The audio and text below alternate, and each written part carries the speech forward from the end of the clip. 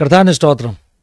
എന്റെ കഥയുടെ ഒരു പുതിയ എപ്പിസോഡിലേക്ക് എല്ലാ മാന്യ പ്രേക്ഷകരെയും ഒരു പ്രാവശ്യം കൂടെ സ്വാഗതം ചെയ്യുകയാണ്. അനുഗ്രഹിക്കപ്പെട്ട ഒരു ടെസ്റ്റ് മണി സെക്ഷനിൽ കൂടെ നമ്മൾ ഒന്നിച്ചായിരിക്കുവാൻ പോവുകയാണ്. കർത്താവ് നമ്മെ സഹായിക്കട്ടെ അനുഗ്രഹിക്കട്ടെ വളരെ പ്രാർത്ഥനയോടുകൂടെ നമുക്ക് ദിവസം ഇതിലായിരിക്കാം ഇന്ന് അനുഗ്രഹിക്കപ്പെട്ട ഒരു ഗസ്റ്റിനെ നമുക്ക് ലഭിച്ചിട്ടുണ്ട്.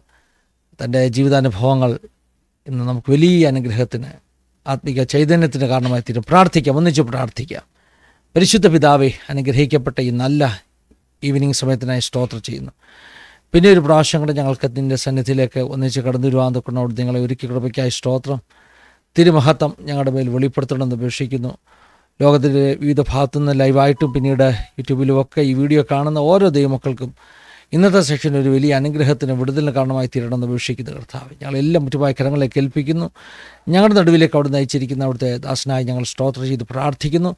തന്റെ ജീവിതാനുഭവങ്ങളൊക്കെ ഞങ്ങൾക്ക് വലിയ ആത്മിക അനുഗ്രഹത്തിന് കാരണമായി തീരണം. മുടിഞ്ഞ കരങ്ങളിൽ വെച്ച് അവിടുത്തെ ദാസനെ അവിടുന്ന് ഉപയോഗിക്കണമെന്ന് അപേക്ഷിക്കുന്നു. ഞങ്ങളെല്ലാം മുറ്റുമായി സമർപ്പിക്കുന്ന കർത്താവ് ഞങ്ങളുടെ സിസ്റ്റർ നെറ്റ്വർക്ക് എല്ലാത്തെയും അവിടുത്തെ കരങ്ങളിലേക്ക് ഏൽപ്പിച്ച് പ്രാർത്ഥിക്കുന്നു. വലിയ അനുഗ്രഹങ്ങൾ അവിടുന്ന് ചെയ്യുവാൻ പോകുന്നുണ്ട് സ്തോത്രം. സകലമാനവും സകല മഹത്വം ഞങ്ങൾ അവിടുത്തെ കടപ്പിക്കുന്നു. യേശു മൂലം ഞങ്ങൾ താഴ്മയായി ചോദിക്കുന്നു. കേൾക്കുമാറകണമേ ആമേൻ ആമേൻ ആമേൻ ആമേൻ. പ്രാരംഭത്തിൽ ഞാൻ ഓർപ്പിച്ചതുപോലെ വളരെ അനുഗ്രഹിക്കപ്പെട്ട ഒരു ദേവദാസനാണ് നമ്മുടെ നടുവിൽ ഇന്ന് തന്റെ അനുഭവങ്ങൾ പങ്കുവെക്കാൻ വന്നിരിക്കുന്നത്. വളരെ പ്രാർത്ഥനയോടുകൂടെ നമുക്ക് ദിവസത്തിലായിരിക്കാം സ്നേഹത്തോടുകൂടെ ആദരവോടുകൂടെ കർത്താവിന്റെ ദാസൻ സജി എബ്രഹാം മാത്യു സ്വാഗതം ചെയ്യുകയാണ്. സജി ഇവിടെ ഇപ്പം ലൈവിലാണ്. വെൽക്കം. പ്രൈസ് ലോഡ് എനിക്കറിയാം കേരളക്കരയിലെ മലയാളി പ്രേക്ഷകരൊക്കെ ഈ മുഖം കണ്ടിട്ടുണ്ട്. സജീവ് ബ്രദറിനെ മിക്കവാറും ഉള്ള ആത്മീക സ്റ്റേജുകളിലൊക്കെ വർഷിപ്പ് സ്റ്റേജുകളിലൊക്കെ ഗിറ്റാറുമായിട്ട് ആളുകൾ കാണാറുണ്ട്. അതുകൊണ്ട് നമുക്കെല്ലാം പരിചിതമാകുന്ന ഒരു മുഖമാണ് ദൈവത്തിന്റെ സ്തോത്രം. ഗിറ്റാറിസ്റ്റ് അല്ലേ എന്ന നിലയിൽ അതോടൊപ്പം തന്നെ ഒത്തിരി ജീവിതാനുഭവങ്ങൾ സജിബ്രന് പങ്കുവെക്കുവാനുണ്ട്. ചെറിയ പ്രായം മുതലേ ഗിറ്റാറിസ്റ്റ് ആകണം. എങ്ങനെയായിരുന്നു അതിന്റെ ഒരു തുടക്കം? പാസ്റ്റർ ഞാൻ ജനിച്ചത് ആലുവയിലാണ്. ആലുവ സെറ്റിൽമെന്റ് എന്ന് പറഞ്ഞൊരു സ്ഥാപനം ഉണ്ടായിരുന്നു. എന്റെ പിതാവ് അവിടെ അധ്യാപകനായിരുന്നു. ആ സമയത്ത് ആ സെറ്റിൽമെന്റ് ഒരുപാട് ഫോറിനേഴ്സ് സ്പോൺസർ ചെയ്ത് ഉണ്ടായി വന്നൊരു സ്ഥാപനമാണ്. ആൽവേ സെറ്റിൽമെന്റ് എന്ന് പറയും.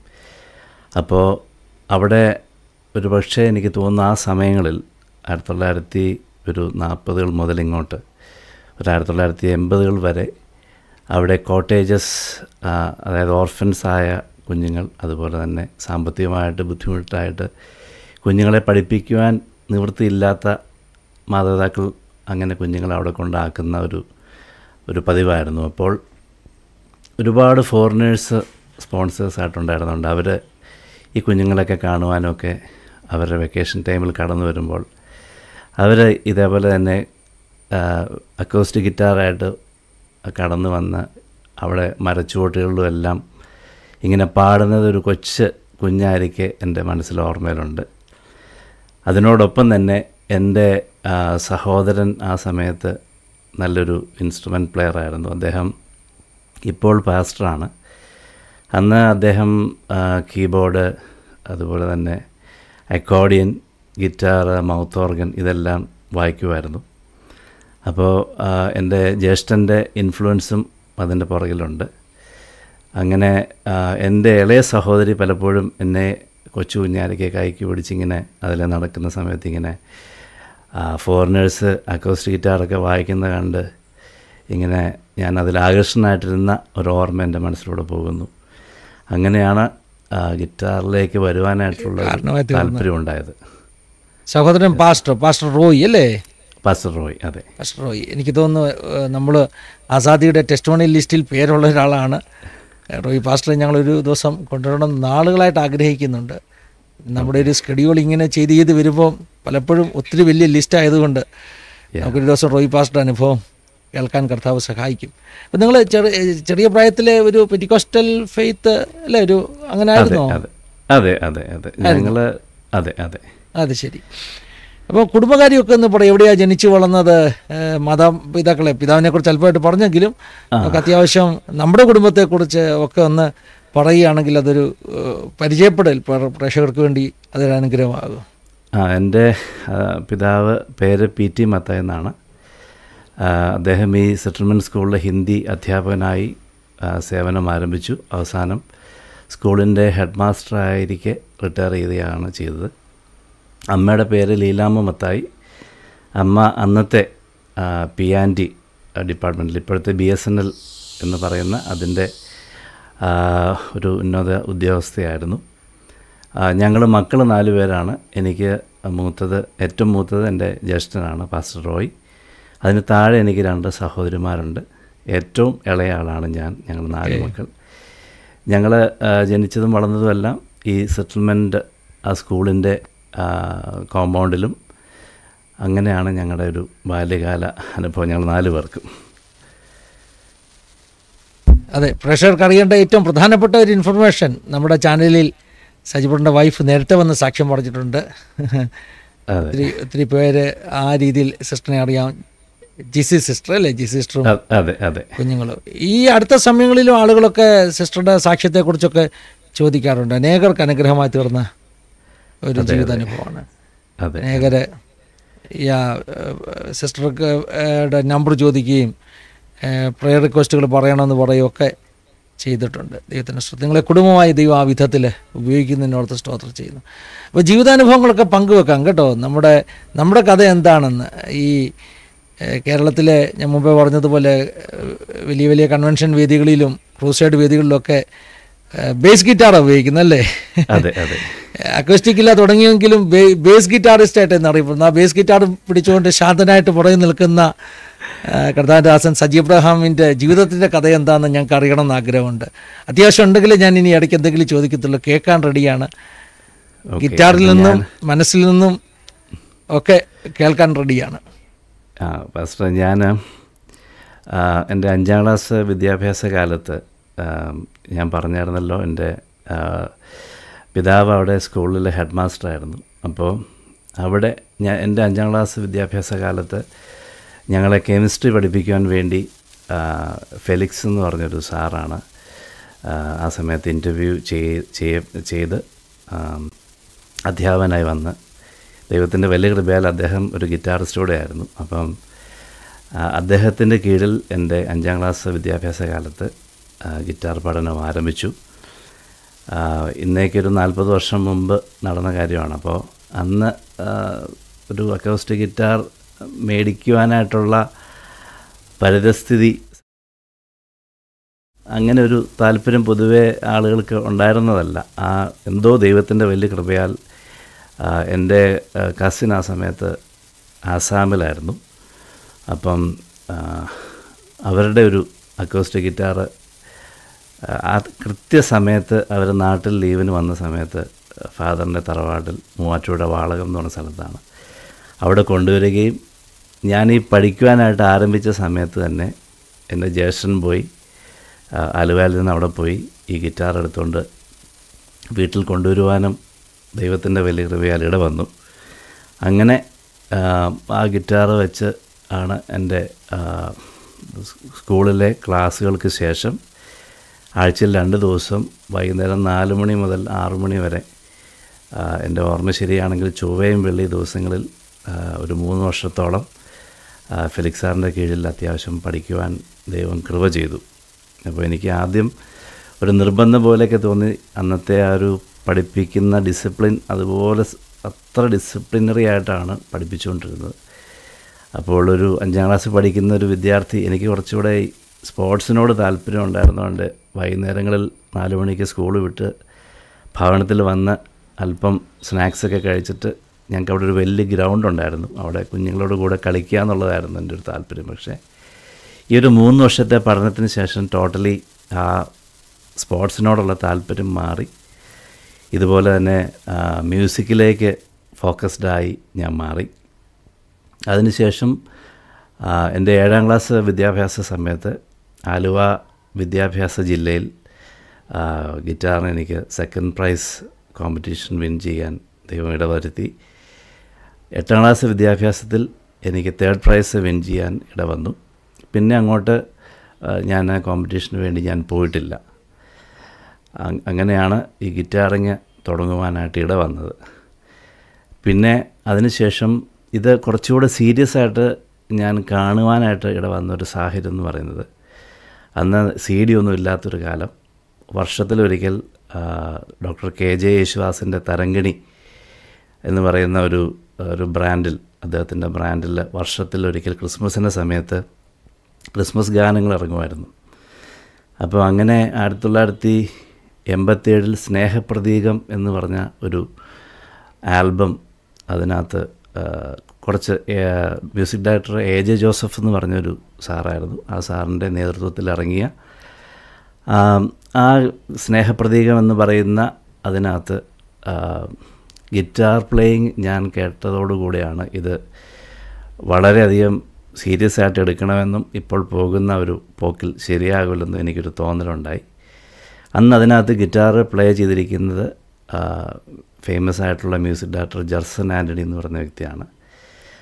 അപ്പോൾ അദ്ദേഹത്തിന്റെ ഗിറ്റാറിങ്ങാണ് എന്നെ കൂടുതൽ ഇതിലോട്ട് ഇൻസ്പയർ ചെയ്യുവാനായിട്ട് ഇടവന്നത്.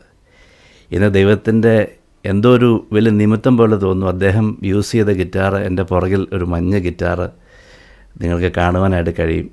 ഇത് എനിക്ക് തോന്നുന്നു ആയിരത്തി തൊള്ളായിരത്തി എഴുപത്തെട്ടിൽ അദ്ദേഹം യു എസിൽ നിന്ന് മേടിച്ച മേടിച്ചൊരു ഗിറ്റാറാണ്. അത് എന്റെ പുറകിൽ നിങ്ങൾക്ക് കാണുവാനായിട്ട് കഴിയും. അത് ഞാനിപ്പോൾ ഇത് റെക്കോർഡ് ചെയ്യുന്ന എന്റെ സ്നേഹിതൻ വിനീതന്റെ അടുത്ത് അദ്ദേഹം ഏൽപ്പിച്ചതാണ്. അപ്പോൾ ഇന്നത്തെ ദിവസം ഒരു പ്രത്യേകത ഞാനൊരിക്കലും പ്രതീക്ഷിച്ചില്ല ഇങ്ങനൊരു ഒരു കാര്യം നടക്കുമെന്നുള്ളത്. ഈ ഗിറ്റാർ ഉപയോഗിച്ച ആ വ്യക്തിയുടെ പ്ലേയിങ് ആണ് എന്നെ സീരിയസ് ആയിട്ട് കാണുവാനും അങ്ങനെ അദ്ദേഹം ഈ വർഷത്തിലൊരിക്കൽ ഇറങ്ങുന്ന സ്നേഹപ്രതീകമെന്ന് പറയ തുടങ്ങി അങ്ങോട്ട് ഇറങ്ങിയിരിക്കുന്ന എല്ലാത്തിനകത്തും പുള്ളിയുടേതായ ഒരു ഗിറ്റാർ പീസ് ഉണ്ടാവും. അത് അങ്ങനെ തന്നെ കാണാതെ പഠിച്ച് ആ ഒരു ഫീൽഡ് വായിക്കുവാൻ വേണ്ടിയിട്ടുള്ള എന്റെ ഒരു ഉദ്യമത്തിലാണ് ഇങ്ങനെ ഗിറ്റാറിസ്റ്റായിട്ട് ഞാൻ വന്നത്. അങ്ങനെ ഒരു പത്താം ക്ലാസ് വിദ്യാഭ്യാസത്തിന് ശേഷം പിന്നെ അന്നുണ്ടായിരുന്ന ഒരു ഈ തരങ്കണി സ്റ്റൈൽ ഓഫ് സോങ്സിന്റെ പാട്ടുകൾക്ക് ഞാൻ വായിച്ച് വായിച്ച് വായിച്ച്. അങ്ങനെ ഞാൻ ആ ഫുള്ളി ഒരു വെസ്റ്റേൺ ഓറിയന്റഡ് ആയിട്ട് പോകാതെ എന്നാൽ ഒരു ഫുള്ളി ഈസ്റ്റേൺ ഓറിയന്റഡ് ആയിട്ട് പോകാതെ ഏതാണ്ട് ഒരു അതിന്റെ ഒരു നടുക്ക് ഏതാണ്ട് ജർസൻ ചേട്ടൻ ഉദ്ദേശിക്കുന്ന ഒരു ഫീൽ അല്ലെങ്കിൽ പലപ്പോഴും പലരും പറയുമായിരുന്നു കണ്ണടച്ച് കഴിഞ്ഞാൽ ഞങ്ങൾ രണ്ടുപേരാരാണത് വായിച്ചിരിക്കുന്നത് തിരിച്ചറിയാൻ പറ്റാത്ത രീതിയിലായെന്നൊക്കെ ഓരോരുത്തർ ഇങ്ങനെ പറഞ്ഞു കേൾക്കുന്നു. പറഞ്ഞ് കേട്ടതായിട്ട് ഞാൻ ഓർക്കുന്നു. അപ്പോൾ അത് അദ്ദേഹമാണ് എന്റെ ഒരു മാനസഗുരു പോലെ ഞാൻ കണ്ട അദ്ദേഹത്തെ ഫോളോ ചെയ്യുകയും അദ്ദേഹത്തിന്റെ പീസുകളെല്ലാം അതുപോലെ വിശേഷിച്ച് എന്റെ സ്കൂൾ അവധിക്കൊക്കെ മറ്റൊന്നിനും പോകാതെ ഇങ്ങനെ മണിക്കൂറുകൾ മണിക്കൂറുകൾ പ്രാക്ടീസ് ചെയ്ത് ആ ഒരു ഫീൽ ഉണ്ടാക്കിയെടുക്കുവാൻ വേണ്ടി ഞാൻ ഒരുപാട് കഷ്ടപ്പെട്ടിട്ടുണ്ട്. അതിനുശേഷം ആയിരത്തി തൊള്ളായിരത്തി തൊണ്ണൂറ്റഞ്ചിൽ അദ്ദേഹത്തിനോടൊപ്പം ഒരു വർക്കിന് പ്ലേ ചെയ്യുവാൻ ദൈവം എനിക്ക് ഇടവരുത്തി. അതിനുശേഷം നല്ലൊരു ബന്ധം ഞങ്ങൾക്ക് തമ്മിൽ ഉണ്ട്. അപ്പോൾ അങ്ങനെ ഞാൻ വായിച്ച് ആയിരത്തി തൊള്ളായിരത്തി തൊണ്ണൂറ്റി ഏഴിൽ ആണ് ഞാൻ പിന്നെ ഫുള്ളി ബേസ് ഗിറ്റാറിലേക്ക് തിരിയുന്നത്. പിന്നെ ആയിരത്തി തൊള്ളായിരത്തി തൊണ്ണൂറ്റഞ്ചിൽ എന്റെ ഡിഗ്രി വിദ്യാഭ്യാസത്തിന് ശേഷം ഒരു വർഷത്തെ ബ്രേക്ക് കഴിഞ്ഞിട്ട് ആയിരത്തി തൊള്ളായിരത്തി തൊണ്ണൂറ്റാറിലാണ് നമ്മുടെ ബഹുമാന്യനായ ടോമിൻ തച്ചിങ്കരി സാർ റിയാൻ സ്റ്റുഡിയോ ആരംഭിക്കുന്നത്. അപ്പോൾ എന്റെ മനസ്സിലൊരു വലിയ ആഗ്രഹമായിരുന്നു ഒരു റെക്കോർഡിസ്റ്റ് ആകുക എന്നുള്ളത് അതിനുവേണ്ടി ചെറുപ്പം മുതലേ ഞാനിങ്ങനെ സ്വപ്നം കാണുമായിരുന്നു ഒരു നല്ലൊരു റെക്കോർഡിസ്റ്റ് ആകണം അങ്ങനെ എന്റെ ഒരു വേറെ സ്നേഹിതനാണ് സ്റ്റുഡിയോയിൽ ശരിക്കും കയറേണ്ടിയിരുന്നത്. പക്ഷേ അദ്ദേഹം അന്ന് കയറുവാനായിട്ട് അന്ന് എന്തോ അദ്ദേഹത്തിന്റെ താല്പര്യം പെട്ടെന്ന് ഇല്ലാതെ വരികയും അദ്ദേഹം എന്നെ അറിയിക്കുകയും അങ്ങനെ ഞാൻ തച്ചങ്കരി സാറിന്റെ സ്റ്റുഡിയോയിൽ അന്ന് അതിന്റെ ഡയറക്ടറായിരിക്കുന്ന ഇപ്പോഴത്തെ ഏറ്റവും നല്ല സൗണ്ട് എഞ്ചിനീയർസ് ഒരാളായിരിക്കുന്ന ഫ്രാൻസിസ് കൊള്ളന്നൂർ. അദ്ദേഹത്തോട് അദ്ദേഹത്തെ പോയി കാണുകയും ഞാൻ അങ്ങനെ ഒരു ഗിറ്റാറിസ്റ്റ് അന്നറിഞ്ഞ് അദ്ദേഹം എന്നെ ഒന്നും നോക്കാതെ ഒരു ട്രെയിനിയായിട്ട് എന്നെ റിയാൻ സ്റ്റുഡിയോയിൽ ആയിരത്തി തൊള്ളായിരത്തി തൊണ്ണൂറ്റാറ് ഏപ്രിൽ മാസം എടുക്കുവാനും ദൈവത്തിന്റെ കൃപയാൽ ഇട വന്നു ഞാൻ ഒരു വർഷത്തോളം ഞാൻ റിയാൻ സ്റ്റുഡിയോയിൽ ട്രെയിനിയായിട്ട് വർക്ക് ചെയ്തു. ആ സമയത്താണ് ഈ നേരത്തെ ഞാൻ പറഞ്ഞ ജൽസൺ ആന്റണി അദ്ദേഹവുമായിട്ട് കൂടുതൽ അടുക്കുവാൻ അദ്ദേഹത്തിന്റെ ഒരുപാട് വർക്കുകളിൽ റെക്കോർഡ് ചെയ്യാനെല്ലാം ഇവിടെ വന്നു. അങ്ങനെ ലീഡ് ഗിറ്റാറിൽ ഇങ്ങനെ നല്ല രീതിയിൽ നിന്ന് പ്ലേ ചെയ്ത് ഒപ്പം തന്നെ റെക്കോർഡിങ്ങും ഇങ്ങനെ ചെയ്തു വരുന്ന സമയം. അങ്ങനെ തൊള്ളായിരത്തി തൊണ്ണൂറ്റി ഏഴിൽ ഒരുപാട് വർക്ക് സ്ട്രെയിൻ വരുന്നൊരു സാഹചര്യം ഉണ്ടായി. അന്ന് ഇതുപോലെ സ്റ്റുഡിയോസ് അധികമില്ല. അപ്പോൾ ഞങ്ങൾ കുറച്ച് പേര് ഒരുപാട് സമയങ്ങളിങ്ങനെ വർക്ക് ചെയ്യേണ്ട സാഹചര്യങ്ങളുണ്ടായിരുന്നു. അങ്ങനെ വർക്ക് ചെയ്ത് വർക്ക് ചെയ്ത് ഞായറാഴ്ചകളിൽ ആരാധന മുടക്കുന്നൊരു സാഹചര്യം രണ്ട് മൂന്നാഴ്ച വന്നപ്പം എനിക്ക് തോന്നി. ഇങ്ങനെ പോയി കഴിഞ്ഞാൽ വിശ്വാസ ജീവിതം ശരിയാവില്ല. അതുകൊണ്ട് ഞാൻ അത് ഡ്രോപ്പ് ചെയ്തു. അത് ഡ്രോപ്പ് ചെയ്തിട്ട് ഞാൻ കമ്പ്യൂട്ടർ എഡ്യൂക്കേഷന് വേണ്ടിയിട്ട് ഒരു സ്ഥാപന സ്ഥാപനത്തിൽ പഠിക്കുവാൻ വേണ്ടി ജോയിൻ ചെയ്ത് അങ്ങനെ ഇരിക്കെ ഇപ്പോഴത്തെ ബ്ലെസ്സിങ് ടുഡേ നിങ്ങളെല്ലാവരും അറിയുന്നത് പോലെ പണ്ട് മാസ്റ്റർ മിനിസ്ട്രീസ് എന്നറിയപ്പെടുന്ന ബ്ലെസ്സിങ് ടുഡേ അദ്ദേഹത്തിന്റെ അതിന്റെ ഫൗണ്ടറായിരിക്കുന്ന പാസ്റ്റർ ഡാമിയൻ ആന്റണി അദ്ദേഹം എറണാകുളത്ത് നടത്തിയ ഒരു മീറ്റിങ്ങിൽ ഞാൻ ശരിക്കും എന്റെ ചേട്ടനും ഞാനും ചേട്ടൻ കീബോർഡ് ഞാൻ ലീ ഗിറ്റാർ എന്റെ കസിൻ ബേസ് ഗിറ്റാർ അങ്ങനെയായിരുന്നു ലൈനപ്പ്. അപ്പോൾ എന്റെ കസിന് ബേസ് ഗിറ്റാർ വായിക്കുവാൻ വരാൻ പറ്റാതെ അദ്ദേഹത്തിന്റെ ഒരു സുഹൃത്തിനെ ആക്കി വിട്ടു. പക്ഷേ അദ്ദേഹം വായിച്ചതെന്തോ ആർക്കും ഇഷ്ടപ്പെട്ടില്ല. അപ്പോൾ എന്റെ സ്നേഹിതൻ ഇന്ന് നിത്യതയിൽ വിശ്രമിക്കുന്ന പ്രസാദ് പൗലോസ് അദ്ദേഹം എന്നോട് പറഞ്ഞു ഒരു കാര്യം ചെയ്യും നീ എന്താണേലും ആ, ലീഡ് ഗിറ്റാർ വായിച്ചില്ലെങ്കിലും കുഴപ്പമില്ല. ബേസ് ഇല്ലാത്തതുകൊണ്ട് ഒരു സുഖമില്ല. അതുകൊണ്ട് നീ ബേസ് വായിക്ക് എന്ന് പറഞ്ഞ് എന്നെ ബേസ് അത് എന്റെ കസിന്റെ ബേസ് ഉണ്ടായിരുന്നതുകൊണ്ട് ആ ബേസ് എടുത്ത് ഞാൻ വായിച്ച് വായിച്ചു കഴിഞ്ഞപ്പോൾ എല്ലാവർക്കും ഇഷ്ടമായി. അന്ന് മുതൽ പിന്നെ നേരെ ബേസ് ഗിറ്റാറിലേക്ക് ചുവട് മാറ്റുകയായിരുന്നു. പിന്നെ ലീഡ് ഗിറ്റാറിലോട്ട് കൈവച്ചിട്ടില്ല ഇങ്ങനെയാണ് എന്റെ ഒരു ഗിറ്റാർ അനുഭവം. ഇനി എനിക്ക് ജീവിതത്തിൽ ഒരുപാട് സ്വാധീനം ചെലുത്തിയ ഒന്ന് രണ്ട് വ്യക്തി ജീവിതങ്ങളെക്കുറിച്ച് പറയാനായിട്ട് ആഗ്രഹിക്കുന്നു. ഒന്ന് ഇന്ന് നിത്യതയിൽ വിശ്രമിക്കുന്ന ഫേസിറ്റി സിറ്റി ചേർച്ചിന്റെ സ്ഥാപകൻ എന്ന് പറയാൻ പറ്റുന്ന ഐസക് സാറാണ് ഐസക് സാറ് ഇലക്ട്രിസിറ്റി ബോർഡിലെ ഒരു എൻജിനീയർ ആയിരുന്നു. ഐസക് സാറിന്റെ വീട്ടിലാണ് പണ്ട് നമ്മളെല്ലാവരും ബഹുമാനിക്കുന്ന നിത്യതയിൽ വിശ്രമിക്കുന്ന വാര്യപുര യോനാചായൻ ഇത് നിത്യതയിൽ വിശ്രമിക്കുന്ന പി ആർ ബി പാസ്റ്റർ അതുപോലെ ആന്റണി സാറ് പണിക്കറ്റ് സാറ് ഇങ്ങനെയുള്ള ആളുകളെല്ലാം അവർ ഞങ്ങളുടെ വീടിനടുത്ത് ആയിരുന്നു ആ സമയത്ത് താമസിച്ചുകൊണ്ടിരുന്നത്. അപ്പോൾ ഞാൻ ചെറിയ തോതിൽ പാട്ടൊക്കെ പാടി അന്ന് ഈ ഞാൻ പറഞ്ഞ പറഞ്ഞായിരുന്നല്ലോ ഞാൻ വളർന്ന സാഹചര്യത്തിൽ ഇങ്ങനെ ഈ കോട്ടേജസ് പോലുള്ള ഇതിന്റെ വാർഡനായിരിക്കും മിക്കവാറും ഈ അതിനകത്ത് താമസിക്കുന്ന ടീച്ചേഴ്സ്. അപ്പോൾ എന്റെ ഫാദറും അതിനകത്തൊരു വാർഡനായിരുന്നു ഹെഡ് മാസ്റ്റർ ആകുന്നതിന് മുമ്പ്. അപ്പോൾ ഈ കുഞ്ഞുങ്ങളുടെ കൂടെ ഡാൻസും പാട്ടുമൊക്കെ ആയിട്ട് ഇങ്ങനെ ബ്രേക്ക് ഡാൻസൊക്കെ കളിക്കുന്ന ഒരു സമയം ആരും അറിയാതെ രഹസ്യത്തിൽ. അപ്പോൾ ഞാനിങ്ങനെ നന്നായിട്ട് പാട്ടൊക്കെ പാടി ലോകത്തിന്റെ പാട്ടുകളൊക്കെ ഇങ്ങനെ പാടി കിടന്നപ്പം ഐസക് സാറ് എന്നോട് പറഞ്ഞു മോനെ നീ ഇത് ചെയ്യുന്നത് ശരിയല്ല. നമ്മൾ കർത്താവിന്റെ മക്കളാണ് കർത്താവിന്റെ മക്കൾ ഒരിക്കലും ലോകത്തിന് വേണ്ടി പാടുവാൻ പാടുള്ളതല്ല. അത് എന്നെ ഒരു കൊച്ചു ബാലകനായിരിക്കെ എന്നെ വല്ലാതെ ചിന്തിപ്പിക്കുവാനായിട്ട് ഇവിടെ വന്നു. ഞാൻ സ്കൂൾ യൂത്ത് ഫെസ്റ്റിവലിലെല്ലാം അത് വായിച്ചിട്ടുണ്ട്. പാട പാടാൻ നിന്നിട്ടില്ല. വായിച്ചെല്ലാം കഴിഞ്ഞതിന് ശേഷം എനിക്ക് മനസ്സിലായി ഐസക് സാറ് പറഞ്ഞതിനകത്ത് സത്യമുണ്ട്. അങ്ങനെയാണ് ഞാൻ എന്റെ പത്താം ക്ലാസ്സിന് ശേഷം ഞാൻ ഫുള്ളി ലോകത്തിന് വേണ്ടി ഇനി വായിക്കുകയില്ല എന്നുള്ളൊരു തീരുമാനം എടുത്തത് ഐസക് സാറിനെ മറക്കുവാനായിട്ട് കഴിയുകയില്ല. ഐസക് സാറിനെ അധികം ആളുകൾക്ക് അറിയില്ല. ഐസക് സാറ് അസാധാരണമായ രോഗശാന്തി ശുശ്രൂഷ ചെയ്തിരുന്ന ഒരു വ്യക്തിയായിരുന്നു. മരുന്നെടുക്കുകയല്ല. അദ്ദേഹത്തിന്റെ മകൻ ഇപ്പോൾ ഇവിടെ ഐസക് പോൾ കാക്കനാട് ചർച്ച് നടത്തുന്നുണ്ട്. ഐസക് സാറ് എന്റെ ലൈഫിൽ ഐസക് സാറാണ് എനിക്ക് രക്ഷാവാചകം ചൊല്ലി തന്നത്. നിങ്ങൾ വിശ്വസിക്കുമെന്നറിയില്ല ഞാൻ എന്റെ ഭവനത്തിന്റെ മുകളിൽ നിന്ന് വീഴുവാനായിട്ട് ഒരു സാഹചര്യത്തിലിടെ വന്നു. അങ്ങനെ വീണ സമയത്ത് എന്റെ കാലിൽ പ്ലാസ്റ്ററൊക്കെ ഇട്ട് കിടന്ന് ഞാൻ അപ്പോൾ സാറ് സ്ഥലത്തില്ല. സാർ എവിടെയോ പോയിട്ട് തിരിച്ച് വരുന്ന വഴി ഞാനിങ്ങനെ വീണു എന്ന് അറിയുവാനായിട്ടിട വന്നു. ഈ കൊച്ചു ബാലകനായിരിക്കെ സാറിന്റെ കൂടെ അന്ന് റോയൽ എൻഫീൽഡ് ബുള്ളറ്റ് ബൈക്കൊന്നും അധികം പേർക്ക് ആയിരത്തി തൊള്ളായിരത്തി എൺപത് സമയങ്ങളിൽ അധികം പേർക്കില്ല. അപ്പോൾ സാറ് ഞങ്ങളുടെ വീടിന്റെ അടുത്ത് താമസിക്കുന്നത് കൊണ്ട് സാറ് വരുന്നതും പോകുന്നതും എല്ലാം ഞങ്ങളറിയും. എന്റെ പിതാവ് അസാധാരണമായ ഒരു എന്താ പറയുന്നത് ആസ്മ പേഷ്യന്റായിരുന്നു. ഹെഡ് മാസ്റ്റർ ആയിരിക്കെ തന്നെ ആസ്മ വന്ന് വല്ലാത്ത പ്രയാസം. പക്ഷേ സാറ് കടന്നു വന്ന് യേശുവിന്റെ രക്തം യേശുവിന്റെ രക്തം എന്ന് പറഞ്ഞ് പ്രാർത്ഥിക്കുമ്പോൾ ആസ്മ വിട്ടുപോകുന്നത് ഒരു ബാലകനായിരിക്കെ എന്റെ ഉള്ളിൽ ഇപ്പോഴും അത് പതിഞ്ഞിരിപ്പുണ്ട്. അപ്പം എനിക്കറിയാം സാറ് കാണാൻ വരും. സാറ് മിക്കവാറും ആ ബുള്ളറ്റിന്റെ ടാങ്കിൽ വെച്ച് സാറിന്റെ വൈഫിനെയും കൊച്ചമ്മയും എന്നെയും വെച്ചുകൊണ്ട് മീറ്റിങ്ങൾക്ക് സാറ് കൊണ്ടുപോയിരുന്നു അപ്പം അങ്ങനെ സാറായിട്ടൊരു ഒരു പിതാവിന്റെ ഒരു സ്ഥാനം എനിക്കുണ്ട്. അപ്പം സാർ ഇതുപോലെ തന്നെ വന്ന് യേശുവിന്റെ രക്തം യേശുവിന്റെ രക്തം എന്ന് പറഞ്ഞിട്ട് സാറ് പറഞ്ഞു മോനെ ആ പ്ലാസ്റ്റർ അഴിച്ചു മാറ്റിക്കുമെന്ന് പറഞ്ഞു. അപ്പോൾ അതുപോലെ ഹീലിംഗ് മിനിസ്ട്രി ചെയ്ത്. എന്നാൽ ഒരു പോപ്പുലാരിറ്റിയും ആഗ്രഹിച്ചിരുന്ന വ്യക്തിയല്ല. അത് അങ്ങനെ അപ്പോൾ ഈ സാറ് വന്ന് അന്ന് എന്നെ സൗഖ്യമാക്കിയത്.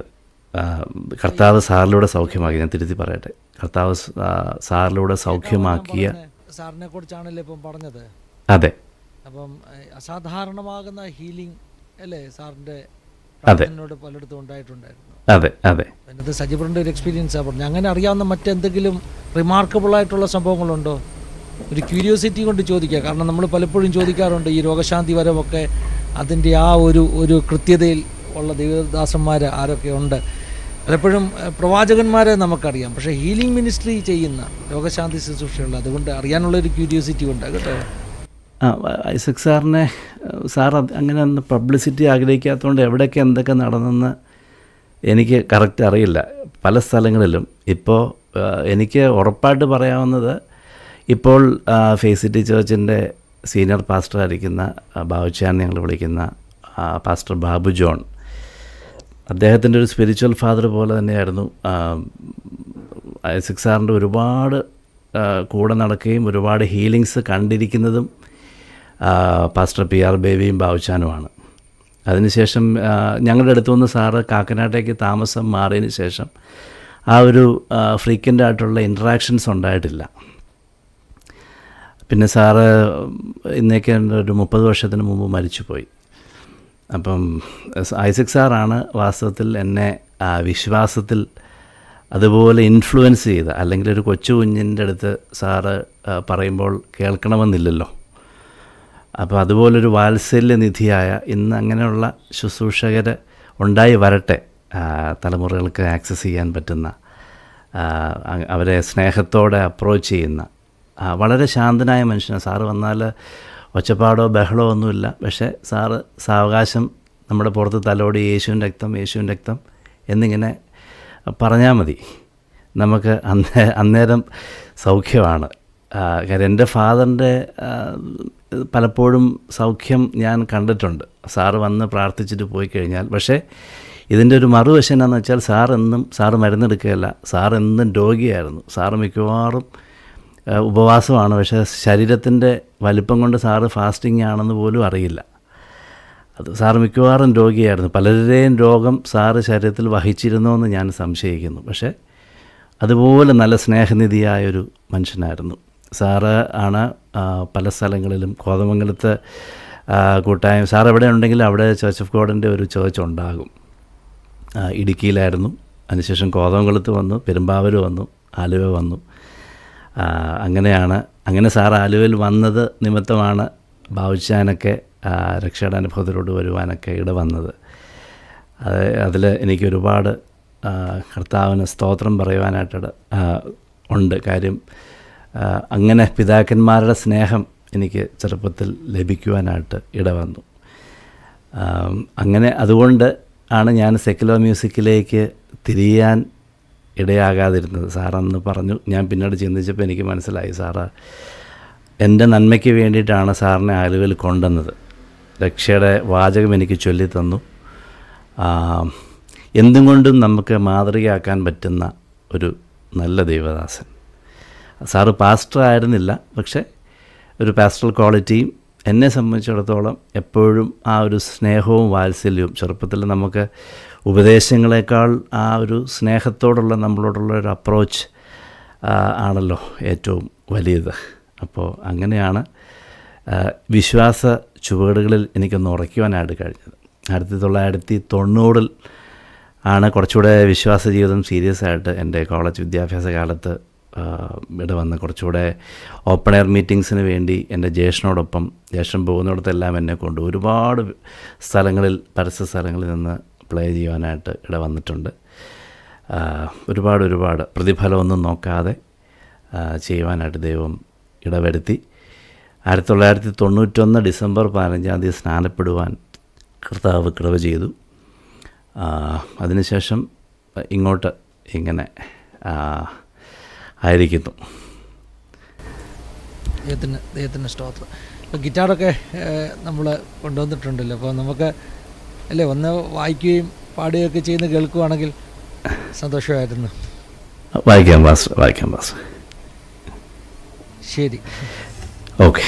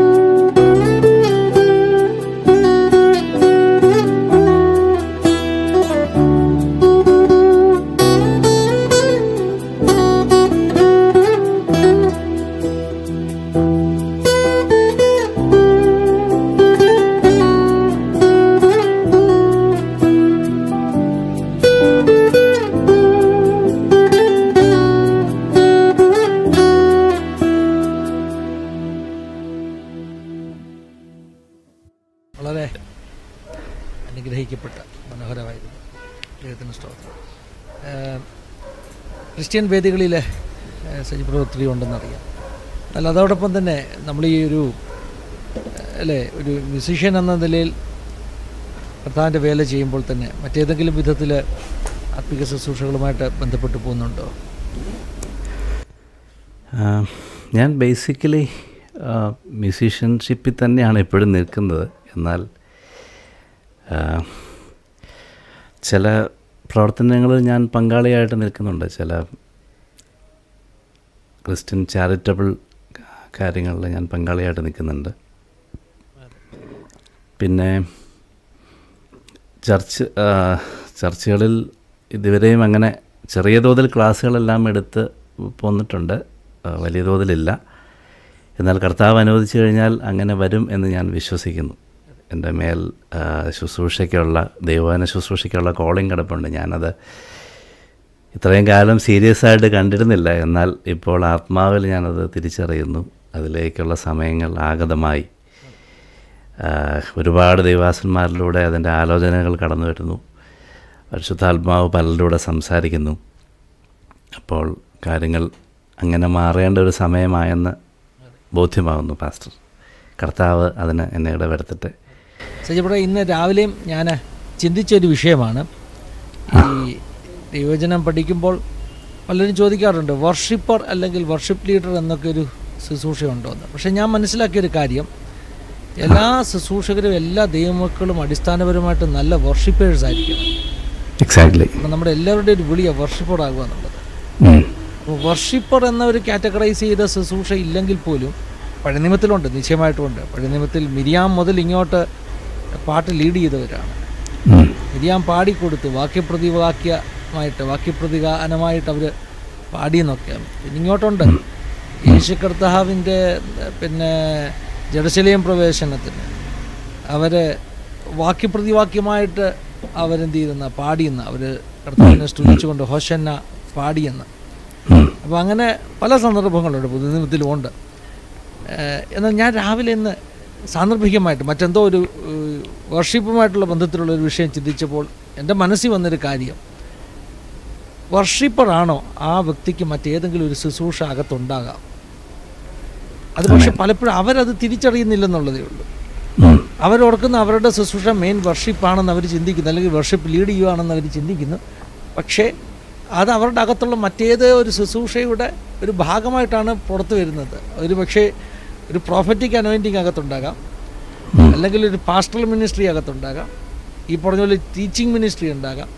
കാരണം ദാവീദിന്റെയൊക്കെ സംഗീത സഭകളിൽ ദാവീദിന്റെ വർഷിപ്പ് ലീഡ് ചെയ്യാൻ ഉപയോഗിക്കപ്പെട്ടവരെ കുറിച്ച് വേദപുസ്തകം പറയുന്നത് അവർ സംഗീത ഉപകരണങ്ങൾ കൊണ്ട് പ്രവചിച്ചെന്ന്.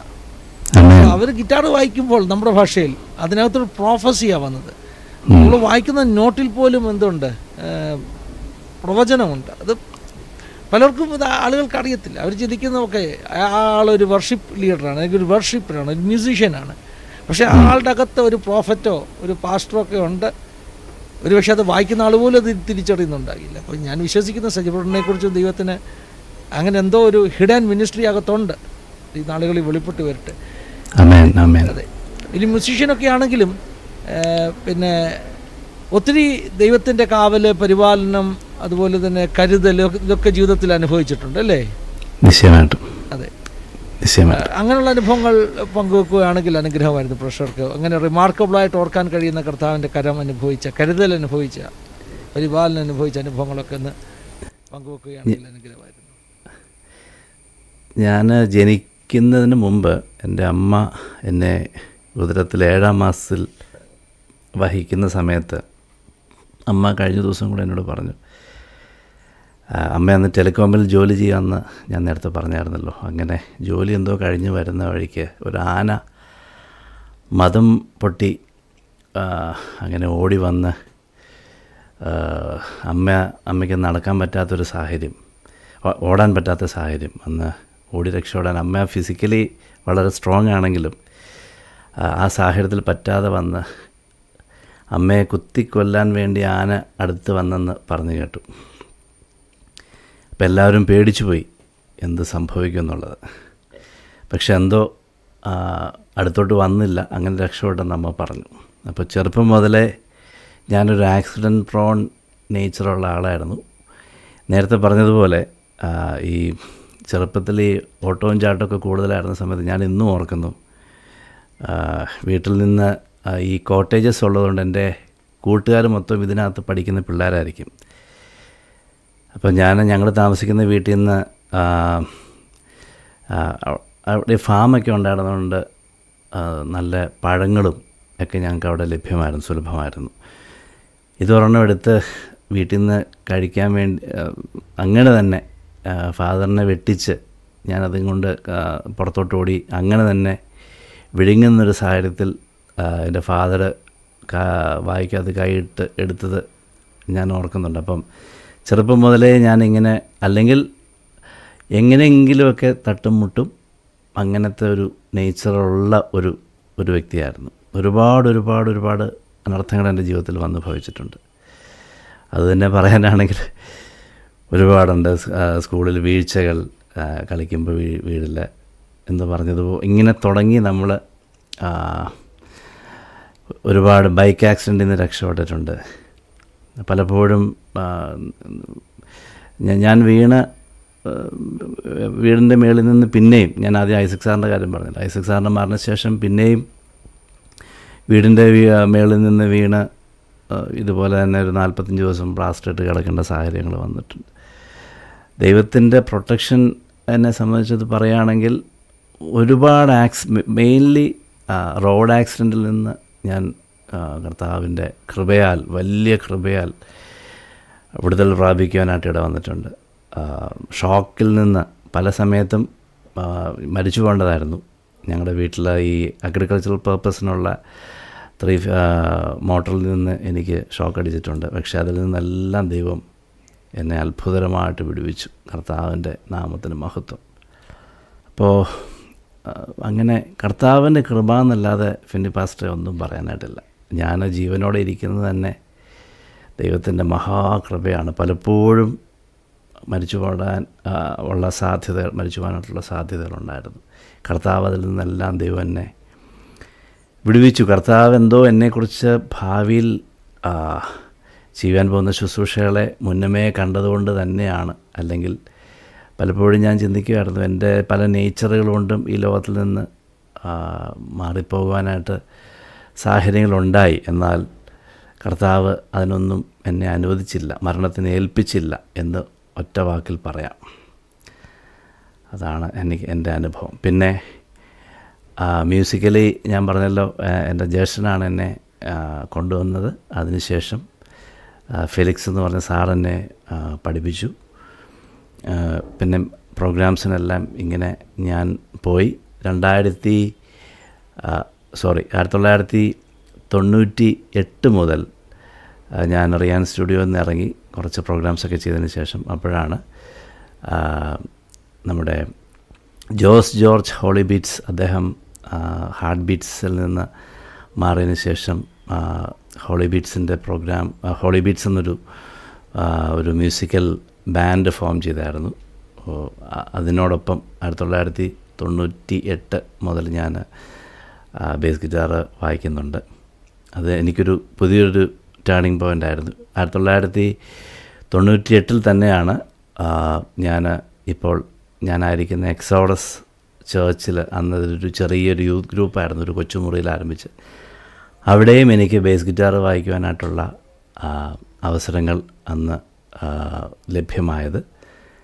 പിന്നെ അതുപോലെ ആ സമയത്ത് തന്നെ തൊണ്ണൂറ്റി എട്ട് മുതൽ തന്നെ പാസ്റ്റർ ഡാമിനുമായിട്ടുള്ള അസോസിയേഷൻ കൊണ്ട് അവരുടെ മീറ്റിങ്ങുകൾ റിവൈവൽ മീറ്റിങ്സിലെല്ലാം വായിക്കുവാനായിട്ട് ദൈവം കൃപ തന്നു.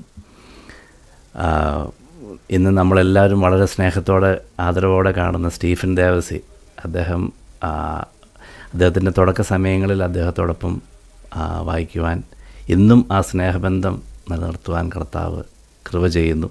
അതിനായിട്ടും ദൈവത്തിന് സ്തോത്രം. രണ്ടായിരത്തി രണ്ടിലാണ് ഞാൻ ഇവിടെ നിന്ന് തിരുവല്ലായ്ക്ക് ഗോസ്ഫൽ ഫോർ ഏഷ്യ അവരുടെ റെക്കോർഡിംഗ് സ്റ്റുഡിയോയിൽ റെക്കോർഡ് ഓഡിയോ റെക്കോർഡിസ്റ്റായിട്ട് ഞാൻ പോകുന്നത്.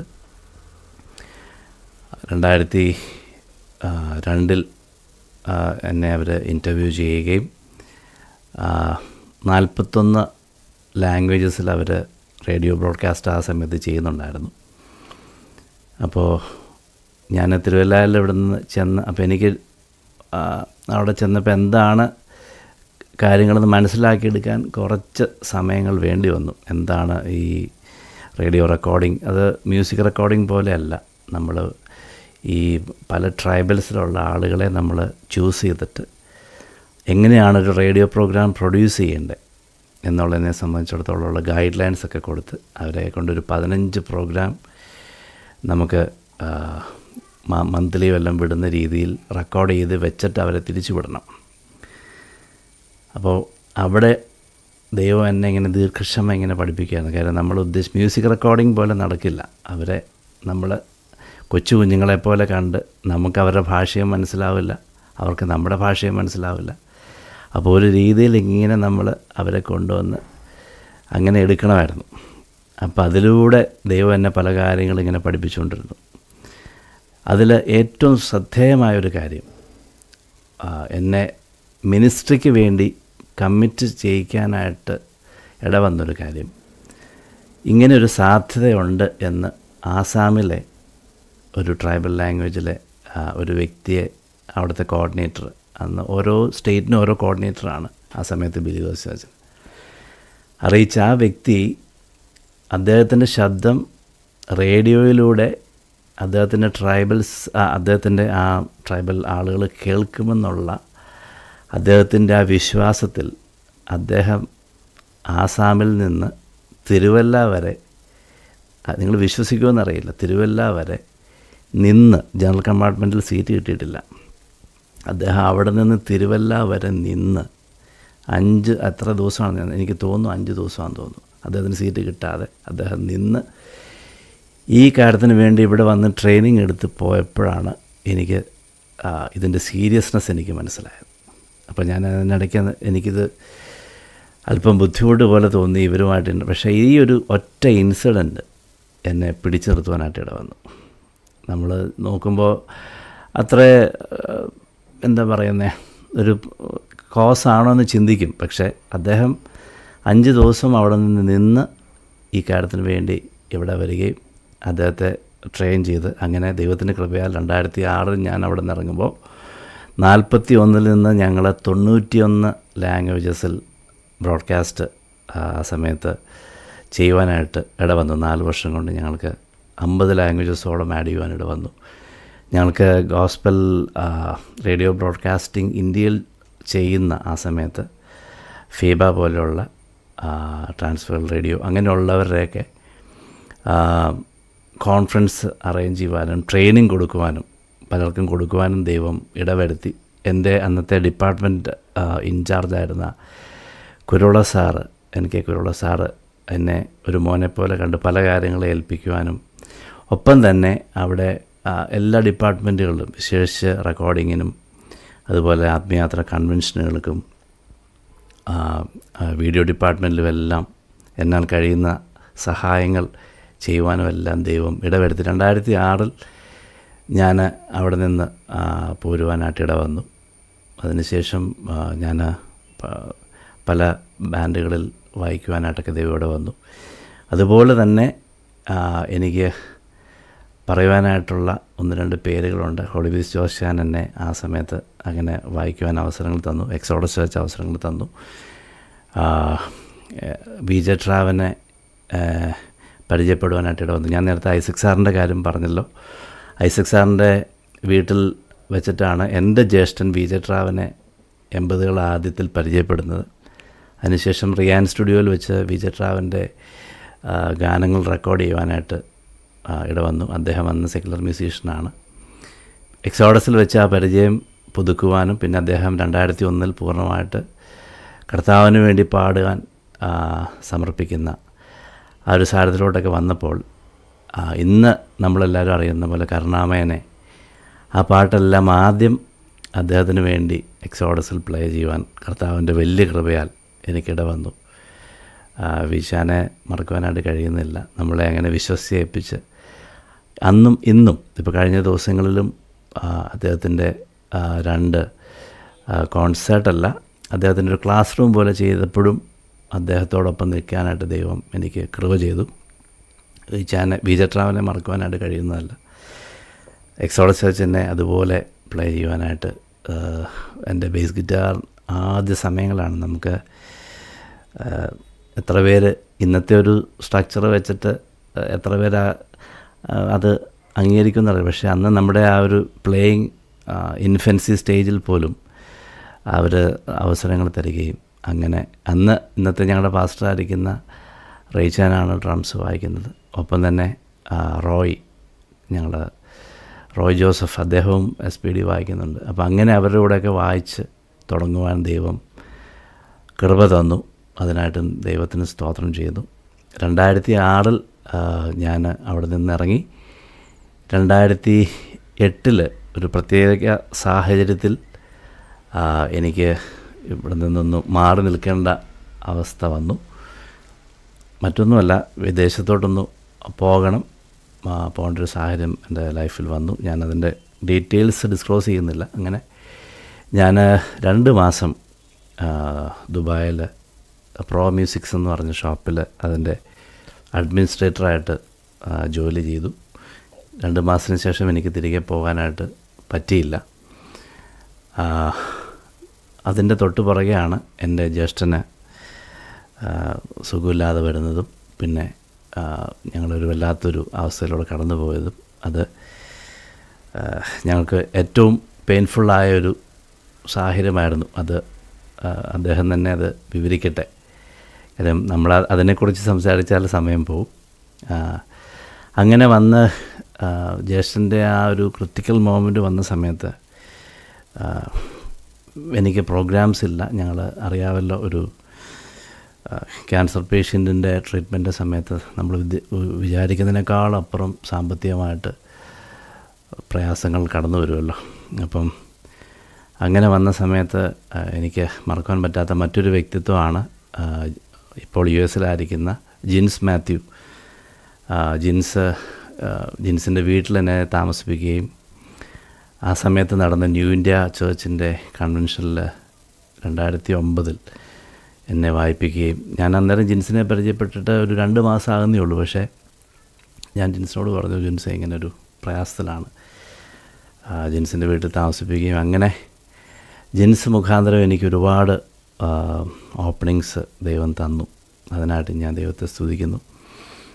അതിനുശേഷം രണ്ടായിരത്തി പത്തിൽ തിരുവല്ലയിൽ ഫെയ്ത്ത് ലീഡേഴ്സ് ചേർച്ച് എന്ന് പറഞ്ഞ ചേർച്ചിന്റെ നേതൃത്വത്തിൽ മിസ്മോർ ഹാർമോണിക് എന്ന് പറഞ്ഞൊരു ഗ്രൂപ്പ് ഫോം ചെയ്യുവാനായിട്ട് ഇവിടെ വന്നു.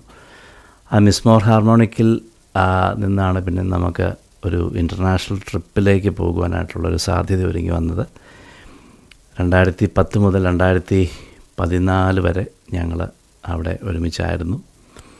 രണ്ടായിരത്തി പന്ത്രണ്ടിൽ ഞങ്ങൾക്ക് കുവൈറ്റിലും യു എയിലും പോകാനായിട്ട് ദൈവം ഇവിടെ വന്നു. അതിൽ ഏറ്റവും നൊമ്പരിപ്പിക്കുന്ന ഒരു വിഷയം ഞങ്ങളുടെ മ്യൂസിക് ഡയറക്ടറായിരുന്ന വിനു അദ്ദേഹം രണ്ടായിരത്തിൽ രണ്ടായിരത്തി പതിനെട്ടിൽ ഈ ലോകത്തുനിന്ന് മാറ്റപ്പെട്ടു.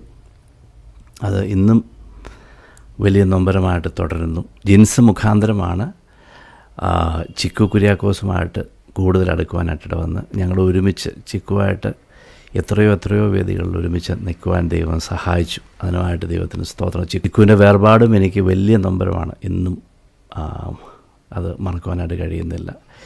ചിക്കു എന്നെ ഇതുപോലെ തന്നെ ഒരുപാട് ഇൻഫ്ലുവൻസ് ചെയ്ത ഒരു വ്യക്തിത്വമാണ്. അദ്ദേഹത്തിന്റെ വർഷിപ്പ് ലീഡിങ്ങിൽ വെളിപ്പെട്ട ദൈവസാന്നിധ്യമൊക്കെ നമുക്ക് ഇപ്പോഴും അതിന്റെ ഓർമ്മകളിൽ ഞാൻ ആയിരിക്കുന്നു. വിശേഷിച്ച് വിജയാഞ്ചൽ പാസ്റ്റർ റേസൻ പാസ്റ്റർ അവരൊക്കെ ആയിട്ടുള്ള ഫിന്നി സ്റ്റീഫൻ പാസ്റ്റർ അതുപോലുള്ള ദൈവാസന്മാരുമായിട്ടുള്ള കണക്ഷൻ ഉണ്ടാകുവാനും അവർ അവരുടെ മീറ്റിങ്ങുകളിലെല്ലാം പങ്കെടുക്കുവാനും കർത്താവ് ഇടവരുത്തിയത് ചിക്കു വഴിയാണ്. അതിനായിട്ടും ഞാൻ ദൈവത്തിന് സ്തോത്രം ചെയ്യുന്നു. രണ്ടായിരത്തി പതിനാലിൽ ജിൻസാണ് ഞങ്ങളെ ഒരു ബാൻഡ് ഫോം ചെയ്യാം എന്നൊരു ആശയം വെക്കുകയും അങ്ങനെ നമ്മളെല്ലാവരും സ്നേഹത്തോടെ ബഹുമാനത്തോടെ കാണുന്ന ഐഡിയ സ്റ്റാർ സിംഗർ ഫെയിമായിരിക്കുന്ന ഇമ്മാനുവൽ ഹെൻറി ആയിട്ട് രണ്ടായിരത്തി പതിനാലിൽ ഞങ്ങൾക്ക് ഒരുമിച്ച് മീറ്റ് ചെയ്യുവാനും ഞങ്ങൾ സെലസ് എന്ന് പറയുന്നൊരു ബാൻഡ് ഫോം ചെയ്യുവാനായിട്ട് ഇട വന്നു.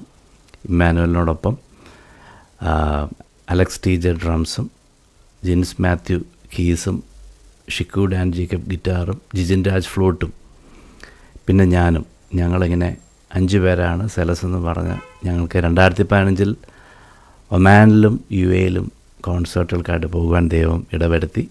രണ്ടായിരത്തി പതിനാറിൽ നമ്മുടെ ഏറ്റവും ബഹുമാനനായ ഡോക്ടർ ബ്ലസൻ മേമനോടൊപ്പം ഞങ്ങൾക്ക് പി സി നാക്കിൽ ഡാളസിൽ നടന്ന പി സി നാക്കിൽ പങ്കെടുക്കുവാൻ ദൈവം കൃപ ചെയ്തു. അങ്ങനെ ഒരുപാട് ഒരുപാട് മ്യൂസിക്കൽ അനുഭവങ്ങൾ. അതിനുശേഷവും ഞങ്ങൾ സെലസ് എന്നുള്ള ആ ഒരു ലൈനപ്പിൽ ജിൻസ് രണ്ടായിരത്തി പത്തൊമ്പതിൽ ഇവിടുന്ന് യു എസിലേക്ക് മൈഗ്രേറ്റ് ചെയ്തതിന് ശേഷം ഞങ്ങൾ ആ ഒരു ലൈനപ്പിൽ തുടർന്നിട്ടില്ല. എന്നാൽ Emmanuel Henry and the band എന്ന് പറഞ്ഞ് ഞങ്ങളിപ്പോഴും പോകുന്നു. വിജയ ട്രാവന്റെ ഒപ്പം ചെയ്യുവാൻ ദൈവം കൃപ തരുന്നു. ഇനി എനിക്ക് ഏറ്റവും പ്രധാനപ്പെട്ടതായിട്ട് സംസാരിക്കാനായിട്ടുള്ളത് എന്റെ ഒരു മ്യൂസിക്കൽ ഫാദറായിരിക്കുന്ന കഴിഞ്ഞ നാളുകളിൽ ലോകത്തു നിന്ന് മാറ്റപ്പെട്ട അച്ചാനെ കുറിച്ചാണ്. ഭക്തച്ചാനാണ് എത്രയും സ്നേഹത്തോടെ വാത്സല്യത്തോടെ എന്നെ ഒരുപാട് പ്രൊമോട്ട് ചെയ്യുകയും വായിക്കുവാനായിട്ട് പ്രോത്സാഹിപ്പിക്കുകയും ചെയ്തത്. ഭക്തജാനന്റെ വേർപാടിന്റെ ശൂന്യത ഞങ്ങൾക്കിപ്പോഴും നികത്തുവാനായിട്ട് കഴിഞ്ഞിട്ടില്ല. ബാംഗ്ലൂരിൽ എപ്പോൾ ചെന്നാലും ഭക്തജാനന്റെ വീട്ടിൽ താമസിക്കുകയും അവരോടൊപ്പം ഭക്തജാനന്റെ ഒരു മൂത്ത മോന്റെ സ്ഥാനം തന്ന് ആ ഒരു സ്നേഹത്തിലാണ് ഞങ്ങൾ എപ്പോഴും ആയിരുന്നത്. നമ്മുടെ വചനത്തിൽ വായിക്കുന്ന പോലെ പിതാക്കന്മാർ ഏറെ ഇല്ലാത്ത ഒരു സാഹചര്യത്തിൽ നമ്മ നമ്മളെ അതുപോലെ തന്നെ കാണുകയും കരുതുകയും ഒക്കെ ചെയ്യുന്ന നല്ലൊരു പിതാവിനെയാണ് നഷ്ടപ്പെട്ടത്. ദൈവത്തിന്റെ വലിയ കൃപയാൽ ഞാൻ കഴിഞ്ഞ ദിവസം ചിന്തിക്കുകയായിരുന്നു ഒരു ഫൈവ് ജനറേഷൻ ഗോസ്പൽ മ്യൂസീഷ്യൻസിന്റെ കൂടെ വായിക്കാൻ. ദൈവത്തിന്റെ മഹാകരുണയാൽ ഇടവന്നു അതായത് ഭക്തചായൻ ജെ വി പീറ്റർചായൻ മാവലിക്കര രാജചായൻ ഒപ്പം തന്നെ അത്ര അറിയപ്പെടുന്ന ആളല്ലെങ്കിലും സിഗ്നിഫിക്കന്റ് ആയിട്ട് മ്യൂസിക് കോൺട്രിബ്യൂഷൻ ചെയ്ത ഒരു വ്യക്തിയാണ് നമ്മുടെ ലോഡ്സന്റെ പപ്പ. അപ്പോൾ അദ്ദേഹവുമായിട്ട് പാസ്റ്റർ ജെ ആന്റണി.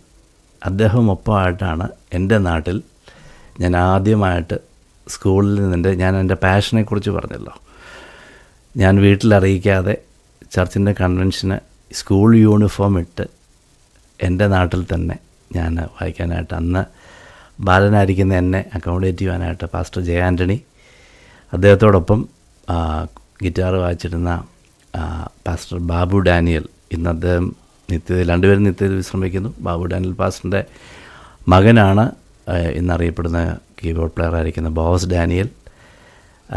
ഒപ്പം ഒരു സിജി ചേട്ടനുണ്ടായിരുന്നു സിജി ദാസ്.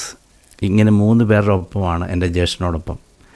അന്ന് ആദ്യമായിട്ടാണ് ഞാൻ കാണുന്ന ഒരു സിംഗറാണ് സാംസൺ കോട്ടൂർ എന്റെ ജ്യേഷ്ഠന്റെ അടുത്ത സ്നേഹിതൻ.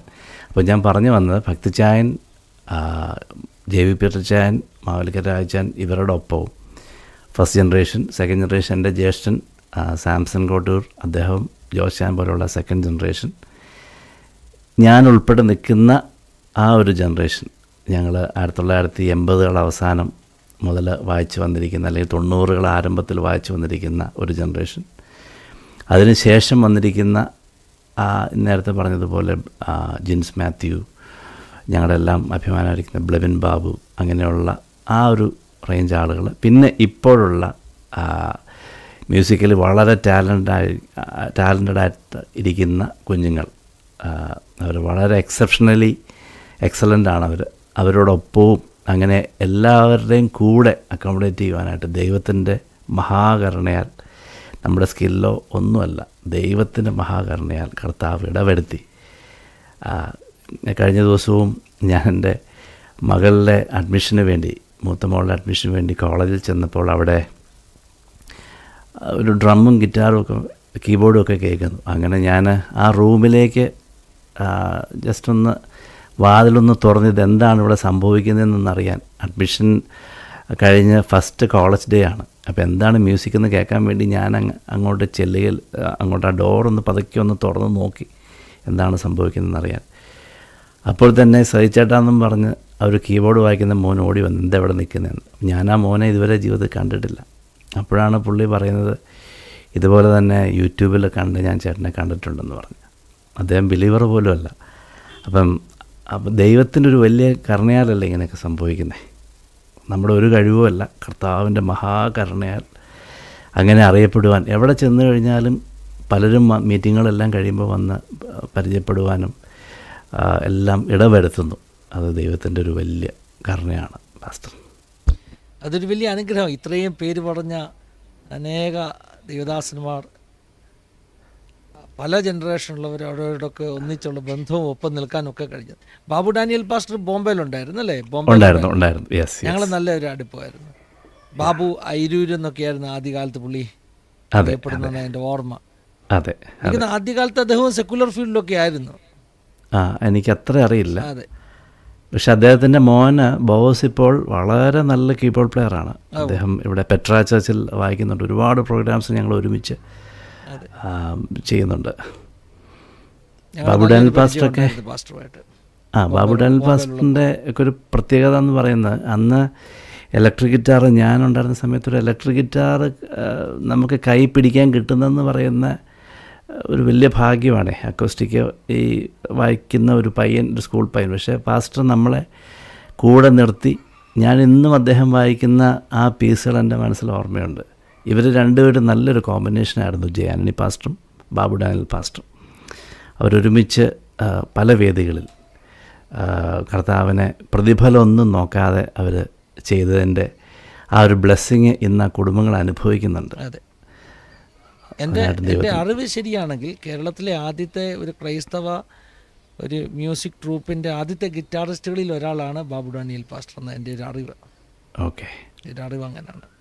ദൈവത്തിന്റെ സ്തോത്രം ഒത്തിരി ആത്മീക ബന്ധങ്ങൾ ദൈവം തന്നു. അതെ അതെ.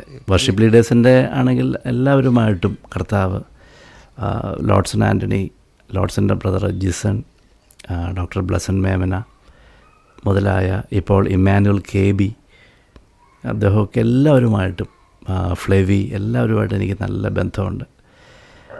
എല്ലാവരെയും ഞാൻ ഓണർ ചെയ്യുന്നു. കർത്താവരെല്ലാം സമൃദ്ധിയായിട്ട് അനുഗ്രഹിക്കട്ടെ. പിന്നെ എന്റെ അടുത്ത ഏറ്റവും അടുത്ത സ്നേഹിതനാണ് ഇമ്മാനുവൽ ഹെൻറി. ഞാൻ അദ്ദേഹത്തെക്കുറിച്ചൊന്നും പറയേണ്ട ആവശ്യമില്ലല്ലോ. അവരിലൂടെ എല്ലാം കർത്താവ് നമ്മളെ ഓരോ കാര്യങ്ങൾ പഠിപ്പിക്കുന്നു. പിന്നെ വർഷിപ്പ് ലീഡേഴ്സിൽ എന്റെ ഒരു മെന്റർ പോലെ കാണുന്ന ഒരാളാണ് ജിബി വർഗീസ് കോലഞ്ചേരി. അദ്ദേഹം ഇപ്പോൾ പാസ്റ്റർ ടിജോ തോമസിന്റെ എറണാകുളം ചോദിച്ചിന്റെ പാസ്റ്ററാണ് എന്നെ ഒരുപാട് ഒരുപാട് കാര്യങ്ങളിൽ മെന്റർ ചെയ്യുന്ന ഒരു വ്യക്തിത്വമാണ് അദ്ദേഹം. ദൈവത്തിന്റെ സ്തോത്രം നമ്മുടെ ഒത്തിരി കുഞ്ഞുങ്ങൾ ഇപ്പം സത്യത്തിൽ ഇൻസ്ട്രുമെന്റ്സ് പഠിക്കാനൊക്കെ പഴയതിലും ഉത്സാഹത്തോടു കൂടെ മുന്നോട്ട് വരുന്നൊരു സമയമാണ്. എനിക്കൊന്ന് നമ്മുടെ പെറ്റിക്കോസ്റ്റൽ ചർച്ചകളിൽ കുഞ്ഞുങ്ങൾക്ക് വർഷിപ്പ് ചെയ്യാനുള്ള ഒരു അവസരമൊക്കെ ഉള്ളത് കൊണ്ട് തന്നെ നമ്മുടെ കുഞ്ഞുങ്ങൾ പലരും എന്തെങ്കിലുമൊക്കെ ഇൻസ്ട്രുമെന്റ് പഠിച്ച് മുന്നോട്ട് വരുന്നത് കാണാറുണ്ട്. പക്ഷേ എന്നാൽ തന്നെ അവർ പലരും പടിപടിയായിട്ട് സെക്കുലർ ഫീൽഡിലോട്ട് അങ്ങ് പോകുന്നൊരു കാഴ്ചയും അല്ലേ? അതെ അതെ. ഒത്തിരി ടാലന്റഡ് ആയിട്ടുള്ള കുഞ്ഞുങ്ങൾ. നമ്മുടെ കമ്മ്യൂണിറ്റിയിൽ തന്നെ ജനിച്ച് വളർന്ന് വന്ന കുഞ്ഞുങ്ങൾ. അത് ഒരുപക്ഷെ എനിക്ക് തോന്നുന്നു അവർക്ക് അവസരമില്ലാത്തതുകൊണ്ടായിരിക്കാം. അത് പല കാരണങ്ങൾ കാണും ഫസ്റ്റ് ഞാൻ എന്റെ ഒരു പേഴ്സണൽ കൺവിക്ഷനാണ് കേട്ടോ. എന്ന് പറഞ്ഞാൽ ഇപ്പം ഞാൻ നേരത്തെ പറഞ്ഞല്ലോ ഐസക് സാറ് എന്റെ മേൽ ചെലുത്തിയ സ്വാധീനം വലിയതാണ്. അതുകൊണ്ടാണ് ഞാൻ അങ്ങനെ ഒരു ഡിസിഷൻ എടുത്തത്. എനിക്കും മുട്ട വന്നിട്ടുണ്ട്. പക്ഷേ ഞാനതിന് പോകാതിരുന്നത്. കാര്യം സാറ് പറഞ്ഞത് അതുപോലെ രൂഢമൂലമായിട്ട് എന്റെ ഉള്ളിൽ കിടക്കുകയാണ്. കാര്യം സാറ് പറഞ്ഞതിന്റെ പല പേഴ്സ്പെക്റ്റീവ്സ് ഉണ്ട്. അത് പക്ഷേ നമ്മൾ എല്ലാവരും അത് ആക്സെപ്റ്റ് ചെയ്തോളണമെന്നില്ല ഇല്ല. പിന്നെ ഇപ്പോഴത്തെ കുഞ്ഞുങ്ങളെ സംബന്ധിച്ചിടത്തോളം നമ്മുടെ ചർച്ചകളിൽ എത്ര കണ്ട് അവരുടെ താരന്തകളെ വളർത്തും എന്നുള്ളതാണ് വിഷയം. ഇപ്പം അവർ ഇപ്പോൾ കേൾക്കുന്നവർക്കിപ്പോൾ എക്സ്പോഷർ വളരെ കൂടുതലാണ് യൂട്യൂബ് വന്നതോടുകൂടി നമ്മുടെ കുഞ്ഞുങ്ങൾക്ക് ഗ്ലോബൽ എക്സ്പ്ലോ എക്സ്പോഷറായി അപ്പം അവർ കേൾക്കുന്ന ഓരോ ജോണർ മ്യൂസിക്കും അതിന് സാധ്യതകൾ നമ്മുടെ ചർച്ചകളിൽ വിടർന്ന് വരുന്നതേ ഉള്ളെന്ന് എനിക്ക് തോന്നുന്നത് അത് പലരും പല പഴയ ആളുകൾ അത് ആക്സെപ്റ്റ് ചെയ്യാനായിട്ട്. ബുദ്ധിമുട്ടായിരിക്കും. പിന്നെ ഞാൻ ഇപ്പോൾ ഞാൻ നേരത്തെ പാസ്റ്റ് പറഞ്ഞപ്പോൾ വായിച്ചത് തന്നെ ആശ്ചര്യമേ ഇത് ആരാൽ വർണിച്ചിടാന്നുള്ള പഴയ പാട്ടാണ് ഞാനത് ചൂസ് ചെയ്യാൻ കാര്യം തന്നെ. എനിക്ക് ആ കൃപയെക്കുറിച്ച് ഞാൻ വാവുകൊണ്ട് പാടില്ലെന്ന് മാത്രമേ ഉള്ളൂ. പക്ഷേ എന്റെ സോൾ എന്റെ ഇമോഷൻ മൊത്തം ആ പാട്ടിൽ കാര്യം അതിന്റെ ലിറിക്കൊന്ന് ശ്രദ്ധിക്കണം. ആ ആ ലിറിക്കിന് അതുപോലുള്ള ലിറിക്കുകളുള്ള പാട്ടുകൾ നമ്മുടെ ഇതിനകത്ത് പുതിയതായിട്ട് വരട്ടെ എന്ന് ഞാൻ പ്രാർത്ഥിക്കുന്നു. കർത്താവിനുള്ള സ്നേഹം കുറച്ചുകൂടെ എന്താ പറയുന്നത് പഴയ പോലെ കാവ്യാത്മകമായിട്ടോ അല്ലെങ്കിൽ ഭാവാത്മകമായിട്ടൊക്കെ പ്രതിഫലിപ്പിക്കുന്ന നിലവാരത്തിലേക്ക് യേശു കർത്താവെ ഞാൻ അങ്ങേ സ്നേഹിക്കുന്നു ഞാൻ അങ്ങേ മാനിക്കുന്നു എന്നുള്ള ആ ഒരു പാറ്റേൺ ഇപ്പോൾ പൊതുവെ സിമ്പിൾ ലിറിക്സിൽ ഏറ്റവും നല്ലതാണ് കാര്യങ്ങളൊക്കെ ആണെങ്കിൽ പോലും ഇതിന് പ്രത്യേകമായൊരു ബ്യൂട്ടിയുണ്ട്. ഞാൻ മറ്റേനെ തള്ളിക്കളയുന്നില്ല ഒരിക്കലും. നമുക്കങ്ങനെ കാര്യം ഒരാളുടെ ആരാധനയിൽ നിന്ന് വരുന്ന കർത്താവ് ഏതാണ് ആക്സെപ്റ്റ് ചെയ്യുന്നത്? കർത്താവ് ഉള്ളത്തെയാണല്ലോ നോക്കുന്നത് മ്യൂസിക് അറിയാത്തവരും കോൺട്രിഗേഷനിൽ പാടുന്നുണ്ട്. കർത്താവ് അവരുടെ വർഷിപ്പിനെ ആക്സെപ്റ്റ് ചെയ്യുന്നുണ്ട്. മ്യൂസിക് എന്ന് പറഞ്ഞാൽ ബേസിക്കലി ഒരു മീഡിയം മാത്രമേ ആവുന്നുള്ളൂ വർഷിപ്പിന് വർഷിപ്പിന് മ്യൂസിക് വേണമെന്നൊരു നിർബന്ധമില്ല അങ്ങനെ നിർബന്ധം ഉണ്ടായിരുന്നെങ്കിൽ യോഹന്നാൻ പത്മോസ് ദ്വീപിൽ വെച്ച് ഒരു ഇൻസ്ട്രുമെന്റിന്റെ അകമടി ഇല്ലല്ലോ. അപ്പം മ്യൂസിക് വർഷിപ്പിനകത്ത് മ്യൂസിക് മാൻഡേറ്ററി ആണെന്ന് നമുക്ക് പറയാനായിട്ട് സാധിക്കില്ല ലാസ്റ്റ് പറ്റില്ല. കർത്താവിനോടുള്ള ഇന്റിമസി ഒരുവൻ എപ്രകാരം ഏത് രീതിയിൽ ഡെവലപ്പ് ചെയ്യുന്നു? അതാണ് വിഷയം. പ്രൈസിനകത്താണ് പൊതുവെ മ്യൂസിക്കിന് പ്രാധാന്യമുള്ളത്. കർത്താവിനെ പാടി സ്തുതിക്കുന്നതിനകത്ത്. ദാവീദ് സംഗീത പ്രമാണിക്കുന്ന ടൈറ്റിൽ എഴുതി വെച്ചിട്ടാണ് നമ്മുടെ സങ്കീർത്തനത്തിൽ വായിക്കുന്നത്. സങ്കീർത്തന പ്രമാണിക്ക് എല്ലാവർക്കും വേണ്ടിയിട്ടല്ല എഴുതിയത്. സങ്കീർത്തന പ്രമാണി അദ്ദേഹം എന്താണേലും കിന്നരവാനയിൽ നിപുണൻ എന്ന് പറയുമ്പോൾ എന്താണേലും എന്തെങ്കിലുമൊക്കെ മ്യൂസിക്കൽ എന്താ പറയുക സ്റ്റഫ് അദ്ദേഹത്തിനുണ്ട്. പക്ഷേ അദ്ദേഹം അത് ചെയ്യാതെ അദ്ദേഹം ലിറിക്ക് മാത്രം എഴുതി ഇങ്ങനെ ഒരാളെ അത് ഏൽപ്പിക്കണമെന്നുണ്ടെങ്കിൽ അദ്ദേഹം കാണിച്ചിരിക്കുന്ന ഒരു മഹാമനസ്കതയോടൊപ്പം തന്നെ അതിനകത്ത് എന്തെങ്കിലും ഒരു കണ്ടന്റ് ഉണ്ട്. അപ്പോൾ പ്രൈസിനകത്തൊരു പക്ഷേ മ്യൂസിക്കിന് നല്ലൊരു സ്വാധീനമുണ്ട്. പക്ഷേ വോഷിപ്പിനകത്ത് ഡീപ്പർ ലെവലിലേക്ക് ഇന്റിമസിയിലേക്ക് ഇറങ്ങാൻ നേരത്തെ മ്യൂസിക് വേണം നിർബന്ധമില്ല. പിന്നെ ഇൻസ്റ്റ എന്റെ ഒരു ആഗ്രഹവും പ്രാർത്ഥനയും എന്താണെന്ന് വെച്ച് കഴിഞ്ഞാൽ ആര് ആലയത്തിൽ ഒരു ഇൻസ്ട്രുമെന്റായിട്ട് നിൽക്കുന്നു അതുപോലെ നമ്മൾ ദൈവസന്നിധിയിൽ സമയങ്ങളെ ചിലവഴിച്ച് നിന്നാൽ പേഴ്സണലി നമ്മൾ ദൈവസാന്നിധ്യം അനുഭവിച്ചിട്ട് കോൺഗ്രിഗേഷനിൽ അല്ലെങ്കിൽ ഒരു കോർപ്പറേറ്റ് വർഷിപ്പിലേക്ക് ഇറങ്ങിക്കഴിഞ്ഞാൽ ഈ സോളിന് താല്പര്യം കൊടുക്കുന്ന കാര്യം അത് മാറി. സ്പിരിറ്റിൽ സ്പിരിറ്റ് ലെവലിൽ മാനിഫെസ്റ്റേഷൻസ് ഉണ്ടാകും. എന്റെ ഒരു ആഗ്രഹം നമ്മൾ നേരത്തെ പറഞ്ഞതുപോലെ കിന്നരം വായിക്കുമ്പോൾ ദുരാത്മാവ് വിട്ടുപോകുന്നത് പോലെ പലവിധമായ ഡൈവേഴ്സായിട്ടുള്ള മാനിഫെസ്റ്റേഷൻസ് ഉണ്ടാകണം. അതിന് നമ്മൾ ഹോംവർക്ക് ചെയ്ത് ക്ലാസ്സിൽ വരുന്നത് പോലെ നമ്മൾ പേഴ്സണലി ഒരുപാട് സമയങ്ങൾ ദൈവസന്നിധിയിൽ പ്രാർത്ഥനയിലും ദൈവജന ധ്യാനത്തിലും നമ്മൾ പേഴ്സണലി ഇരുന്ന് നമ്മൾ അതിനകത്ത് കർത്താവ് പറയുമ്പോൾ എഴുന്നേൽക്കുന്ന ഒരു ലെവലിലേക്കായി തീരുവാൻ ഞാനും ആഗ്രഹിക്കുന്നു. എനിക്കും അതാകണം. അങ്ങനെ വന്നു കഴിയുമ്പോഴാണ് നമുക്ക് സെക്യുലർ മ്യൂസിക്കും ഈ ഗോസ്പൽ മ്യൂസിക്കും തമ്മിലുള്ള വ്യത്യാസം പ്രകടമാകുന്നത്. എല്ലാത്തിലും കോഡും നോട്ട്സും ഒക്കെ സെയിമാണ് സെക്യുലറിനകത്താണെങ്കിലും ഗോസ്പലിനകത്താണെങ്കിലും പക്ഷേ ഗോസ്പലിനകത്ത് സാധ്യത കിടക്കുന്നത് പോസിബിലിറ്റീസ് എന്ന് പറയുന്നത് ഇത് മാത്രമേ ഉള്ളൂ. എന്തെങ്കിലുമൊക്കെ മാനിഫെസ്റ്റേഷൻസ് നടക്കണം. നമ്മൾ പാടുമ്പോഴോ അല്ലെങ്കിൽ നമ്മൾ ഇൻസ്ട്രുമെന്റ് വായിക്കുമ്പോഴോ നമ്മുടെ വർഷിപ്പിനകത്ത് പ്രസംഗിക്കാൻ ആൾ ആയിട്ട് ആൾ കയറണ്ട എന്നൊരു നിലവാരത്തിലേക്ക് ദൈവസാന്നിധ്യം ഇറങ്ങി. ഹീലിങ്സും ഡെലിവറൻസസും നമുക്ക് ചിന്തിക്കാൻ പറ്റാത്ത രീതിയിൽ ക്രിയേറ്റീവായിട്ടുള്ള മാനിഫെസ്റ്റേഷൻസ് വെളിപ്പെടുന്ന ഒരു സുദിനത്തിന് വേണ്ടി ഞാൻ ആഗ്രഹിക്കുന്നു. അങ്ങനെ വരട്ടെ. അതാണ് ആത്യന്തികമായിട്ട്. കുഞ്ഞുങ്ങൾ സെക്കുലർ മ്യൂസിക്കിലേക്ക് പോകുന്നത് നമുക്ക് തടയാനായിട്ട് പറ്റില്ല. പക്ഷേ നമുക്ക് നമ്മുടെ കോൺട്രിഗേഷനിൽ ഒരു വ്യത്യസ്തത കൊണ്ടുവരാനായിട്ട് പറ്റണം.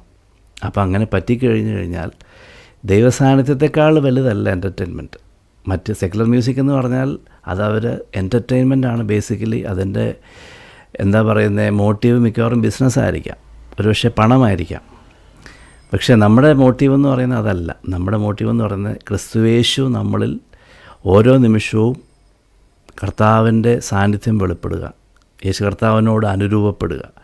തലയാകുന്ന ക്രിസ്തുവിനോട് നമ്മൾ വളരുക എന്നുള്ളൊരു പേഴ്സ്പെക്റ്റീവിൽ നമ്മുടെ മേൽ ദൈവം ഏൽപ്പിച്ചിരിക്കുന്ന താലന്തിനെ സമയമെടുത്ത് നമ്മൾ ഒറ്റയ്ക്ക് പ്രാക്ടീസ് ചെയ്ത് ഒറ്റയ്ക്ക് വർഷിപ്പ് ചെയ്ത് ആ വർഷിപ്പും പ്രാക്ടീസും കൂടെ ഒരുമിച്ച് പോകുന്നൊരു തലത്തിൽ കുഞ്ഞുങ്ങളായി തീർന്നാൽ എനിക്ക് നല്ല ബോധ്യമുണ്ട് നമ്മുടെ പേഴ്സ്പെക്റ്റീവ് മാറും. ഞാൻ ഒരിക്കലും ദൈവം അനുവദിച്ചിട്ടൊരു വ്യക്തി സെക്കുലർ ഇതിനകത്ത് പോയിട്ട് ഇൻഫ്ലുവൻസ് ചെയ്യുകയും ഇമ്പാക്റ്റ് ചെയ്യുന്നതിനും ഞാൻ എതിരല്ല. അങ്ങനെ ചെന്നൈ ഫിലിം ഇൻഡസ്ട്രിയിലുള്ള നല്ല മ്യൂസീഷ്യൻസ് എല്ലാം നമ്മുടെ ചെന്നൈ ന്യൂ ലൈഫ് ഏജ് ചർച്ചിലെ ബിലീവേഴ്സാണ് അവർ ഒരു ആൾ പോലും ഞായറാഴ്ച ആലയത്തിൽ ആരാധന കളഞ്ഞിട്ട് അവർ പോവില്ല. പക്ഷേ അവർ വായിക്കുന്നതെല്ലാം ഇന്ത്യയിലെ ടോപ്പ് മ്യൂസിക് ഡയറക്ടേഴ്സിന് വേണ്ടിയിട്ടാണ്.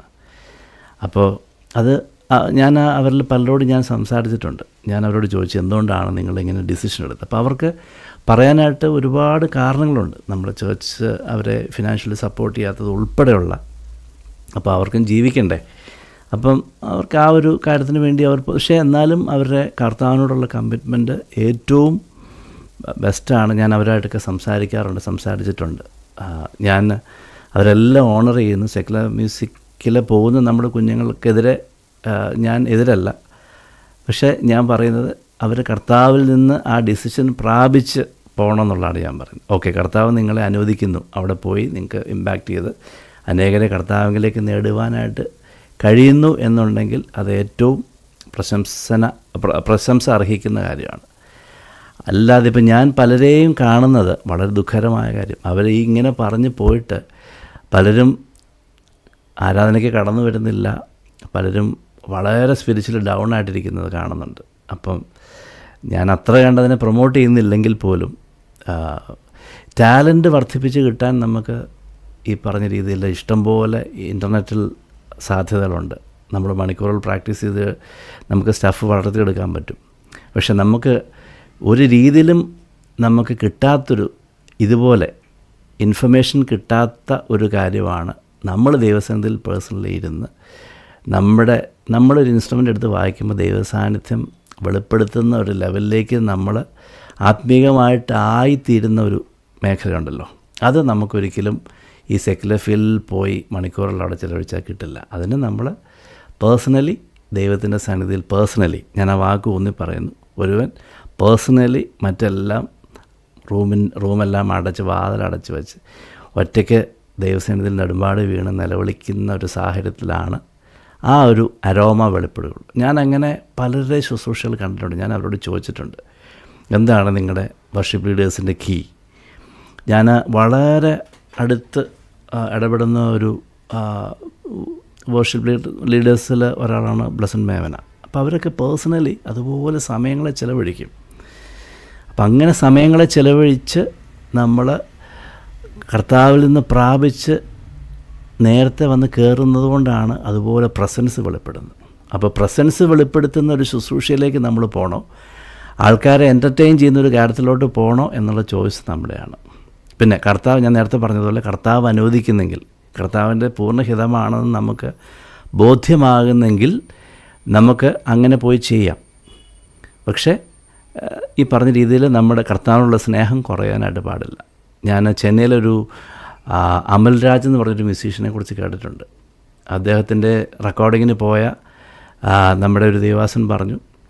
അദ്ദേഹം റെക്കോർഡിംഗ് ബൂത്തിലോട്ട് കയറിയിട്ട് അദ്ദേഹം അവിടെ ഭയങ്കര കരച്ചിലും നിലവിളിയൊക്കെ കേൾക്കുന്നു. അദ്ദേഹം മുട്ടയിൽ നിന്ന് കരഞ്ഞുകൊണ്ട് പ്രാർത്ഥിച്ചിട്ടാണ് നമ്മുടെ ഒരു ഗോസ്പൽ ഇതിനു വേണ്ടി വായിക്കുന്നത്. അപ്പോൾ ഇദ്ദേഹം വായിക്കാൻ വേണ്ടി ഇത് വായിപ്പിക്കാൻ വേണ്ടി ഈ ടേപ്പുമായിട്ട് അവിടെ ചെന്നപ്പം അദ്ദേഹത്തോട് ചോദിച്ചു. അപ്പോൾ ഇദ്ദേഹം ഞെട്ടിപ്പോയി. അപ്പോൾ പറഞ്ഞു എനിക്ക് മനസ്സിലായി നീയൊരു ദൈവമകനാന്നുള്ളത് നിന്റെ ഉള്ളിൽ അഭിഷേകം ഉണ്ടെന്നുള്ളത് മനസ്സിലായെന്ന് പറഞ്ഞു. അപ്പോൾ ആ ലെവലിൽ അദ്ദേഹം നിന്ന് അദ്ദേഹം കണ്ടോ അദ്ദേഹം വായിക്കുന്നതിന് മുമ്പാണെങ്കിൽ പോലും അദ്ദേഹം അങ്ങനെ കർത്താവിനെ വർഷിപ്പ് ചെയ്തിട്ടാണ് അദ്ദേഹം ചെയ്യുന്നത്. അപ്പോൾ എക്സെപ്ഷണലി അങ്ങനെ പ്രയോജനപ്പെടുന്നവരുണ്ട്. ഞാൻ സെക്കുലർ മ്യൂസിക് പ്ലേ ചെയ്യുന്നതിന് ഒട്ടും എതിരല്ല. പക്ഷേ കർത്താവിനുള്ള സ്നേഹം കുറയാതെ നമ്മൾ കാത്ത് ക്വാളിറ്റി ടൈം കർത്താവുമായിട്ട് ചിലവഴിക്കാൻ പറ്റണം. അത് മാത്രമേ ഉള്ളൂ ഫസ്റ്റ് ഈ മ്യൂസീഷ്യൻസിനെ സംബന്ധിച്ച് മാത്രമല്ല ഏത് ശുശ്രൂഷ ചെയ്യുന്നവരും ഈവൻ പാസ്റ്റേഴ്സ് പ്രീച്ചിങ് മിനിസ്ട്രി ചെയ്യുന്നവർ അവരൊക്കെ കൂടുതൽ സമയങ്ങൾ ദൈവസന്നിധിയിൽ ദൈവത്തിന്റെ പ്രസൻസിൽ ചിലവഴിച്ചെങ്കിൽ മാത്രമേ അവരുടെ ശുശ്രൂഷയിൽ ആ ഒരു അനോയിന്റിങ് ഫ്ലോ ചെയ്യത്തുള്ളൂ. എനിക്ക് അറിയാവുന്ന പല ദേവദാസന്മാരെ കുറിച്ച് ഞാൻ കേട്ടിട്ടുണ്ട്. അവർക്കുള്ള പ്രധാനപ്പെട്ട ഇമ്പോർട്ടന്റ് മീറ്റിങ്സിന് മുമ്പ് ഒന്നോ രണ്ടോ ദിവസങ്ങൾ അവർ മറ്റാരോട് സംസാരിക്കാതെ ഏതെങ്കിലും ഒരു സ്ഥലത്ത് ഒരു മുറിയിൽ അടച്ച് ഒറ്റയ്ക്കിരുന്ന് പ്രാർത്ഥിച്ച് മാത്രമേ സ്റ്റേജിലേക്ക് കയറത്തുള്ളൂ അങ്ങനെയുള്ള ദേവദാസന്മാരെ നമുക്കറിയാം. ഒരു വളരെ പ്രധാനപ്പെട്ട ഒരു മീറ്റിംഗ് ആണെങ്കിൽ പ്രത്യേകിച്ചും അല്ലാതെ തയ്യാറെടുപ്പില്ലാതെ. തയ്യാറെടുപ്പ് എന്ന് പറഞ്ഞാൽ നമ്മൾ ഈ വചനം പ്രിപ്പയർ ചെയ്യുന്നതല്ലല്ലോ ശരിയായ തയ്യാറെടുപ്പ്. ദൈവമായിട്ടുള്ള ഒരു ബന്ധം ഈ പ്രസൻസിൽ ഇരിക്കുക എന്നുള്ളതല്ലേ? നിശ്ചയമായിട്ടും ആ ഒരു തയ്യാറെടുപ്പ് എല്ലാ തരത്തിലുള്ള ശുശ്രൂഷകർക്കും ആവശ്യമാണ്. ആ, സജി ബ്രദർ പിന്നെ പറഞ്ഞാട്ടെ. ആ അപ്പം ഞാൻ ഇപ്പം പൊതുവെ കാണുന്ന പല കാര്യങ്ങളിലും ഞാൻ മനസ്സിലാക്കുന്നൊരു കാര്യം പല മ്യൂസീഷ്യൻസും വർഷിപ്പ് ലീഡേഴ്സിനൊക്കെ മുറിവുണ്ടാക്കുന്ന അനുഭവങ്ങൾ നമ്മുടെ ശുശ്രൂഷയുടെ ഭാഗത്തുനിന്ന് ഉണ്ടായിട്ടുണ്ട്. അത് ഒരുപക്ഷെ കർത്താവരെ ബില്ല് ചെയ്യാൻ വേണ്ടി ഉപയോഗി ഉപയോഗിക്കുന്നതായിരിക്കാം. പക്ഷേ എന്റെ ഒരു എളിയ ഒരു സജഷൻ പ്രത്യേകിച്ചും പാസ്റ്റേഴ്സിനോടുള്ളത് നമ്മളെല്ലാം ഒരുമിച്ചാണ്. ഇത് ശുശ്രൂഷയുടെ ഭാഗം തന്നെയാണ്. വചന ശുശ്രൂഷയും ആരാധന ശുശ്രൂഷയും. സംഗീതാരാധന ശുശ്രൂഷ തന്നെയാണ്. പക്ഷേ അവർ പലരും അതിനെ ഒരു രണ്ടാം കടയായിട്ട് കാണുന്ന ഒരു ട്രെൻഡ് ഞാൻ പൊതുവെ കാണുന്നുണ്ട്.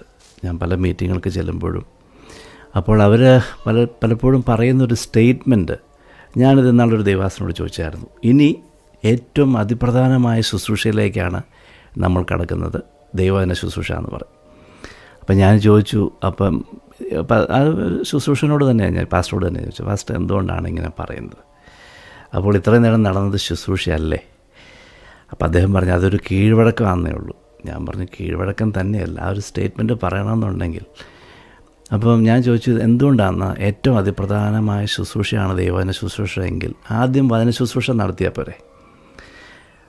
നിങ്ങൾ ആദ്യം വചന ശുശ്രൂഷയ്ക്ക് മുമ്പ് ഈ സംഗീതാരാധന ശുശ്രൂഷ കഴിഞ്ഞിട്ടാണല്ലോ ഇതിലോട്ട് വരുന്നത് എന്നാൽ പിന്നെ ആദ്യം ഇത് കഴിഞ്ഞിട്ട് നമുക്ക് നേരെ പ്രോസസ്സ് നമുക്കങ്ങ് റിവേഴ്സ് ചെയ്യാമെന്ന് പറഞ്ഞു. അപ്പോൾ ഞാൻ പറഞ്ഞു ശുശ്രൂഷയിൽ അതിപ്രധാനം നിങ്ങൾ ഇങ്ങനെ കാറ്റഗറൈസ് ചെയ്യുന്നെങ്കിൽ ഏറ്റവും അതിപ്രധാനമായ ശുശ്രൂഷയാണ് കാൽ കഴുകൽ ശുശ്രൂഷ എന്ന് ഞാൻ പറഞ്ഞു. തമ്മിൽ തമ്മിൽ പാപങ്ങളെ ഏറ്റു പറഞ്ഞ് കാൽ കഴുകി എല്ലാം ക്ലിയർ ആയതിനു ശേഷം കർത്താവ് പറഞ്ഞല്ലോ തമ്മിൽ തമ്മിൽ എന്തെങ്കിലും ഉണ്ടെങ്കിൽ അത് അവിടെ വെച്ച് റെക്ടിഫൈ ചെയ്തതിന് ശേഷം മാത്രമേ ആരാധനയ്ക്ക് കടന്നു വരാവുള്ളൂ. അങ്ങനെയെങ്കിൽ അത് ആദ്യം ചെയ്ത് ഈ വർഷിപ്പും കഴിഞ്ഞിട്ട് ദൈവനെ ശുശ്രൂഷിച്ചാൽ മതി. അപ്പോൾ അദ്ദേഹം എന്നോട് ചിരിച്ചു. അപ്പം ഞാൻ പറഞ്ഞത് അങ്ങനെ കാണുന്ന പ്രവണതയ്ക്കൊരു ഒരു അവസാനം വരണം. ഇത് ഒരുമിച്ച് ചെയ്യുന്ന ശുശ്രൂഷ വളരെ പ്രാർത്ഥനാപൂർവം ആ, ഒരുമിച്ച് കൊണ്ടാവെങ്കിൽ ഇതേപോലെ ഏറ്റവും അനുഗ്രഹിക്കപ്പെട്ട ഒരു കോമ്പിനേഷൻ ഇല്ല ദൈവന ശുശ്രൂഷയ്ക്ക് മുമ്പ്. അതിനകത്താണ് ഫുൾ മാനിഫെസ്റ്റേഷൻസ് നടക്കുന്നത്. ഞാനത് ഹൺഡ്രഡ് പേഴ്സന്റ് വിശ്വസിക്കുന്നു. അങ്ങനെ നിന്ന ഞാൻ നിന്ന ചുരുക്കം ചില വേദികളിൽ. ഉദാഹരണത്തിന് ഞാനിപ്പോഴും ഓർക്കുന്ന ഒരു കാര്യം. ഡോക്ടർ ബ്ലസൻ മേമനെ എല്ലാവരും വർഷിപ്പ് ലീഡറായിട്ടാണ് കണക്കാക്കിയിട്ടുള്ളത്. പക്ഷേ അദ്ദേഹം അസാധാരണമായ രീതിയിൽ വചനം സംസാരിക്കുകയും ഒരു നല്ല പ്രോഫിറ്റും കൂടെയാണ്. ഒരു വലിയ കൺവെൻഷൻ ഞാൻ കൺവെൻഷന്റെ പേര് പറയുന്നില്ല. കേരളത്തിൽ അറിയപ്പെടുന്നൊരു ശുശ്രൂഷന. ഞങ്ങൾ വർഷിപ്പ് ലീഡിങ്ങിന് വേണ്ടി മാത്രം വിളിച്ചു ഞങ്ങൾ പോയി. പക്ഷേ പുള്ളിക്കാരന് വരാൻ അദ്ദേഹത്തിന് സോറി ആ ദേവാസിന് വരാൻ പറ്റാതെ വന്നതുകൊണ്ട് പെട്ടെന്ന് ബ്ലസ്സിന്റെ മേലെ നിയോഗം വന്നു. ഇതെങ്ങനെ രാത്രി പത്ത് മണിയായെന്ന് ഞങ്ങൾ അതിശയിച്ചു പോയി. കാര്യം ഈ ഈ വർഷിപ്പ് റീഡിങ് കഴിഞ്ഞ് നേരെ അദ്ദേഹം മെസ്സേജിലേക്ക് കയറുകയാണ് അസാധാരണമായ വെളിപ്പാടുകൾ സംസാരിക്കുന്നു. അസാധാരണ അപ്പം ഒരു വ്യക്തി തന്നെ ഇത് ചെയ്ത സമയത്ത് വെളിപ്പെട്ട ഒരു ഒരു മഹത്വമുണ്ട്.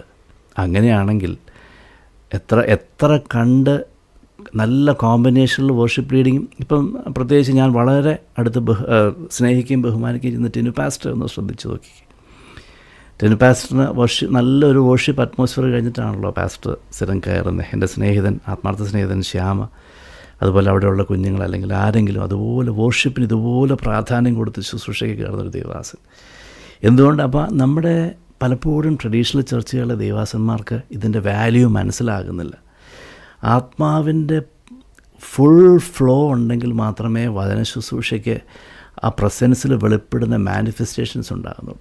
നമുക്ക് വചനത്തിന്റെ വെളിപ്പാടുകൾ നമ്മളെ പണിയുന്ന വെളിപ്പാടുകൾ നമ്മളെ അതുപോലെ നമ്മളെ എന്താ പറയുന്നത് ഒരു നമ്മുടെ ലൈഫിൽ ഒരു പാരഡൈം ഷിഫ്റ്റ് കൽപ്പിക്കുന്ന വചന വെളിപ്പാടുകൾ വെളിപ്പെടുന്നതിനോടൊപ്പം തന്നെ പേഴ്സണലി നമ്മൾ എഡിഫൈ ആകുന്നതിനോടൊപ്പം തന്നെ അതിന്റെ മാനിഫെസ്റ്റേഷൻസും ജനങ്ങളുടെ ഇടയിൽ വെളിപ്പെടണം. ഞാനതിനു വേണ്ടി വളരെ ആഗ്രഹിക്കുന്ന ഒരു വ്യക്തിത്വമാണ്. പാട്ടൊക്കെ മാറി നിൽക്കട്ടെ. ദൈവന ശുശ്രൂഷയ്ക്ക് കയറി ഒരു ദൈവവാസൻ സംസാരിച്ചുകൊണ്ടിരിക്കുമ്പോൾ ആത്മാവിന്റെ അതുപോലെ മാനിഫെസ്റ്റേഷൻസ് വെളിപ്പെട്ട്. കഴിഞ്ഞ ദിവസം ഒരു ദേവാസൻ എന്നോട് പറഞ്ഞു അദ്ദേഹത്തിന്റെ ആഗ്രഹം പറഞ്ഞു അച്ഛാ എനിക്ക് പ്രസംഗിക്കണ്ടെന്ന് പറഞ്ഞു. ഞാൻ ചോദിച്ചു പാസ്റ്ററെ നിങ്ങൾ നല്ല പ്രാസംഗികനല്ലേ? വേണ്ട അച്ഛാ എനിക്കൊന്നും പ്രസംഗിക്കണ്ട. ഞാൻ അവിടെ കയറി നിൽക്കുന്ന സമയത്ത് അപ്പാന്ന് വിളിക്കാൻ നേരത്ത് മാനിഫെസ്റ്റേഷൻ വെളിപ്പെട്ട് സംസാരിച്ച് മാനിഫെസ്റ്റേഷൻസ് മതി എനിക്കൊന്നും സംസാരിക്കേണ്ട. I am tired of speaking എന്ന് പറഞ്ഞു. അപ്പോൾ എനിക്ക് മനസ്സിലായി അതുപോലെ പരിശുദ്ധാത്മാവിന്റെ ഒരു നമുക്ക് പിടിച്ചു നിൽക്കാൻ പറ്റാത്ത അഭിഷേകത്തിന്റെ വ്യാപാരമുണ്ടായി. ജനങ്ങൾ മാനസാന്തരത്തിലേക്കും ജനങ്ങൾ അനുതാപത്തിലേക്കും ഹീലിങ്ങും ഡെലിവറൻസസും ഒക്കെ നടക്കുന്നൊരു ശുശ്രൂഷയിലേക്ക് ഉള്ളൊരു മെയിൻ എൻട്രി പോയിന്റാണ് ആത്മാവിൽ നിറഞ്ഞുള്ള ആരാധന. അത് പാട്ട് തന്നെയല്ല. പാട്ട് തന്നെയല്ല. പാട്ടിന് മ്യൂസിക്കോ സ്കെയിലോ എല്ലാം അപ്പുറം. ജനങ്ങൾ ഇത് ഒരു മീഡിയം മാത്രമേ ആകുന്നുള്ളൂ ആത്മലോകത്തേക്ക് കണക്ട് ചെയ്യുന്ന ഒരു മീഡിയം മാത്രമേ ആകുന്നുള്ളൂ അതിനേക്കാളും അപ്പുറം ഇതങ്ങ് ആ ഫ്ലോ നദി അങ്ങ് ഒഴുകണം ആത്മനദി ഒഴുകണം. ഞാൻ അങ്ങനെ ഈ ദിവസങ്ങളിൽ ആഗ്രഹിക്കുകയും പ്രാർത്ഥിക്കുകയും ചെയ്യുന്നു പാസ്റ്റർ. എന്നിലൂടെ അത് വെളിപ്പെടട്ടെ. ഞാൻ പാട്ടുകാരനല്ല ഞാൻ വർഷിപ്പ് ലീഡറല്ല പക്ഷേ എനിക്ക് ആഗ്രഹം ഞാൻ എവിടെയെങ്കിലും പാടേണ്ട സാഹചര്യം കർത്താവ് അനുവദിക്കുന്നെങ്കിൽ ഒരു ഇൻസ്ട്രുമെന്റ് വായിക്കുന്ന സാഹചര്യം കർത്താവ് അനുവദിക്കുന്നെങ്കിൽ അവിടെ അത് സംഭവിക്കട്ടെ. അത് സംഭവിക്കുന്നതിനോടൊപ്പം തന്നെ നമ്മുടെ പേരൊരിക്കലും വലുതാകാനല്ല പാസ്റ്റർ. പക്ഷേ മഹത്വം വെളിപ്പെടണം. ഈ ദിവസങ്ങളിൽ ഞാൻ ആഗ്രഹിക്കുന്നൊരു കാര്യം ദൈവമഹത്വത്തിന് പകരം വെക്കാൻ ഈ ലോകത്തിൽ മറ്റൊന്നുമില്ല. എന്ത് ടെക്നോളജി ഉണ്ടെങ്കിലും എന്ത് ഇൻസ്ട്രുമെന്റിന്റെ എക്സലൻസ് ഉണ്ടെങ്കിലും എന്ത് പ്ലേയിങ്ങിന്റെ എക്സലൻസ് ഉണ്ടെങ്കിലും മഹത്വത്തെ പകരം വെക്കാൻ മറ്റൊന്നുമില്ല.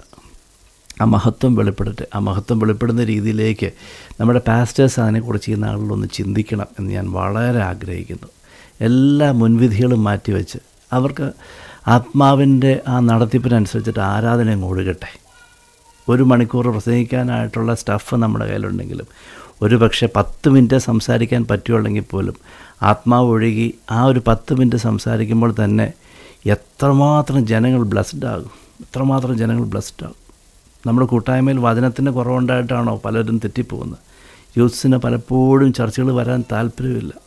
പല ആളുകളും മുറി മുറിയപ്പെടുകയാണ് ഞായറാഴ്ച ആരാധനകൾ കടന്നു ദൈവത്തിന്റെ വലിയ കൃപയാൽ ഞങ്ങളൊക്കെ നിൽക്കുന്ന കൂട്ടായ്മകളിലെല്ലാം വളരെ പോസിറ്റീവായിട്ട് ജനങ്ങളെ ബിൽഡ് ചെയ്യുന്ന എഡിഫൈ ചെയ്യുന്ന എന്നാൽ കണ്ണീരോടെ വളരെ താഴ്മയോടെ തിരുത്തുന്ന വചനങ്ങൾ പറയുന്ന കൂട്ടായ്മകളിലൊക്കെ ദൈവം എന്നെ ആക്കിയതിനായിട്ട് എന്റെ ദൈവാസന്മാർക്കായിട്ട് പാസ്റ്റർ റെജി പാസ്റ്റർ റെബി അവർക്കെല്ലാമായിട്ട് നന്ദിയോടെ സ്തോത്രം ചെയ്തു കർത്താവ് എല്ലാവരും അനുഗ്രഹിക്കട്ടെ. ഞാൻ പറഞ്ഞ ഇത് മാത്രമേ ഉള്ളൂ. എന്റെ ഒരു എന്റെ ഹൃദയത്തിൽ നിന്ന് ഞാൻ സംസാരിച്ച കാര്യം എനിക്ക് പിള്ള ഞാൻ ഈ ദിവസങ്ങളിൽ പണ്ടൊക്കെ ഞാൻ ചെയ്യാതിരുന്നൊരു ശുശ്രൂഷ ഞാൻ പല പിള്ളേരായിട്ട് ഇപ്പോൾ സംസാരിക്കുമ്പോൾ അവരെല്ലാം ആയിരുന്ന ചർച്ചകളിൽ നിന്ന് അവരെ കഴിവിനെ അടിച്ചിരുത്തി മുറിവേൽപ്പിച്ച് ആ വിടരുന്ന മുട്ടിനെ എന്താ പറയുക ഛേദിച്ച് കളയുന്ന അല്ലെങ്കിൽ അവരെ നെഗറ്റീവ് പറഞ്ഞ് അവരെ അവരെ താരന്തകളെ വായിച്ചുകൊണ്ടിരിക്കുമ്പം ഓഫ് ചെയ്യുക കീബോർഡ് ഓഫ് ചെയ്യുക അല്ല ഇൻസ്ട്രുമെന്റ് ഓഫ് ചെയ്യുക പാടുന്നൊരു മൈക്ക് ഓഫ് ചെയ്യുക.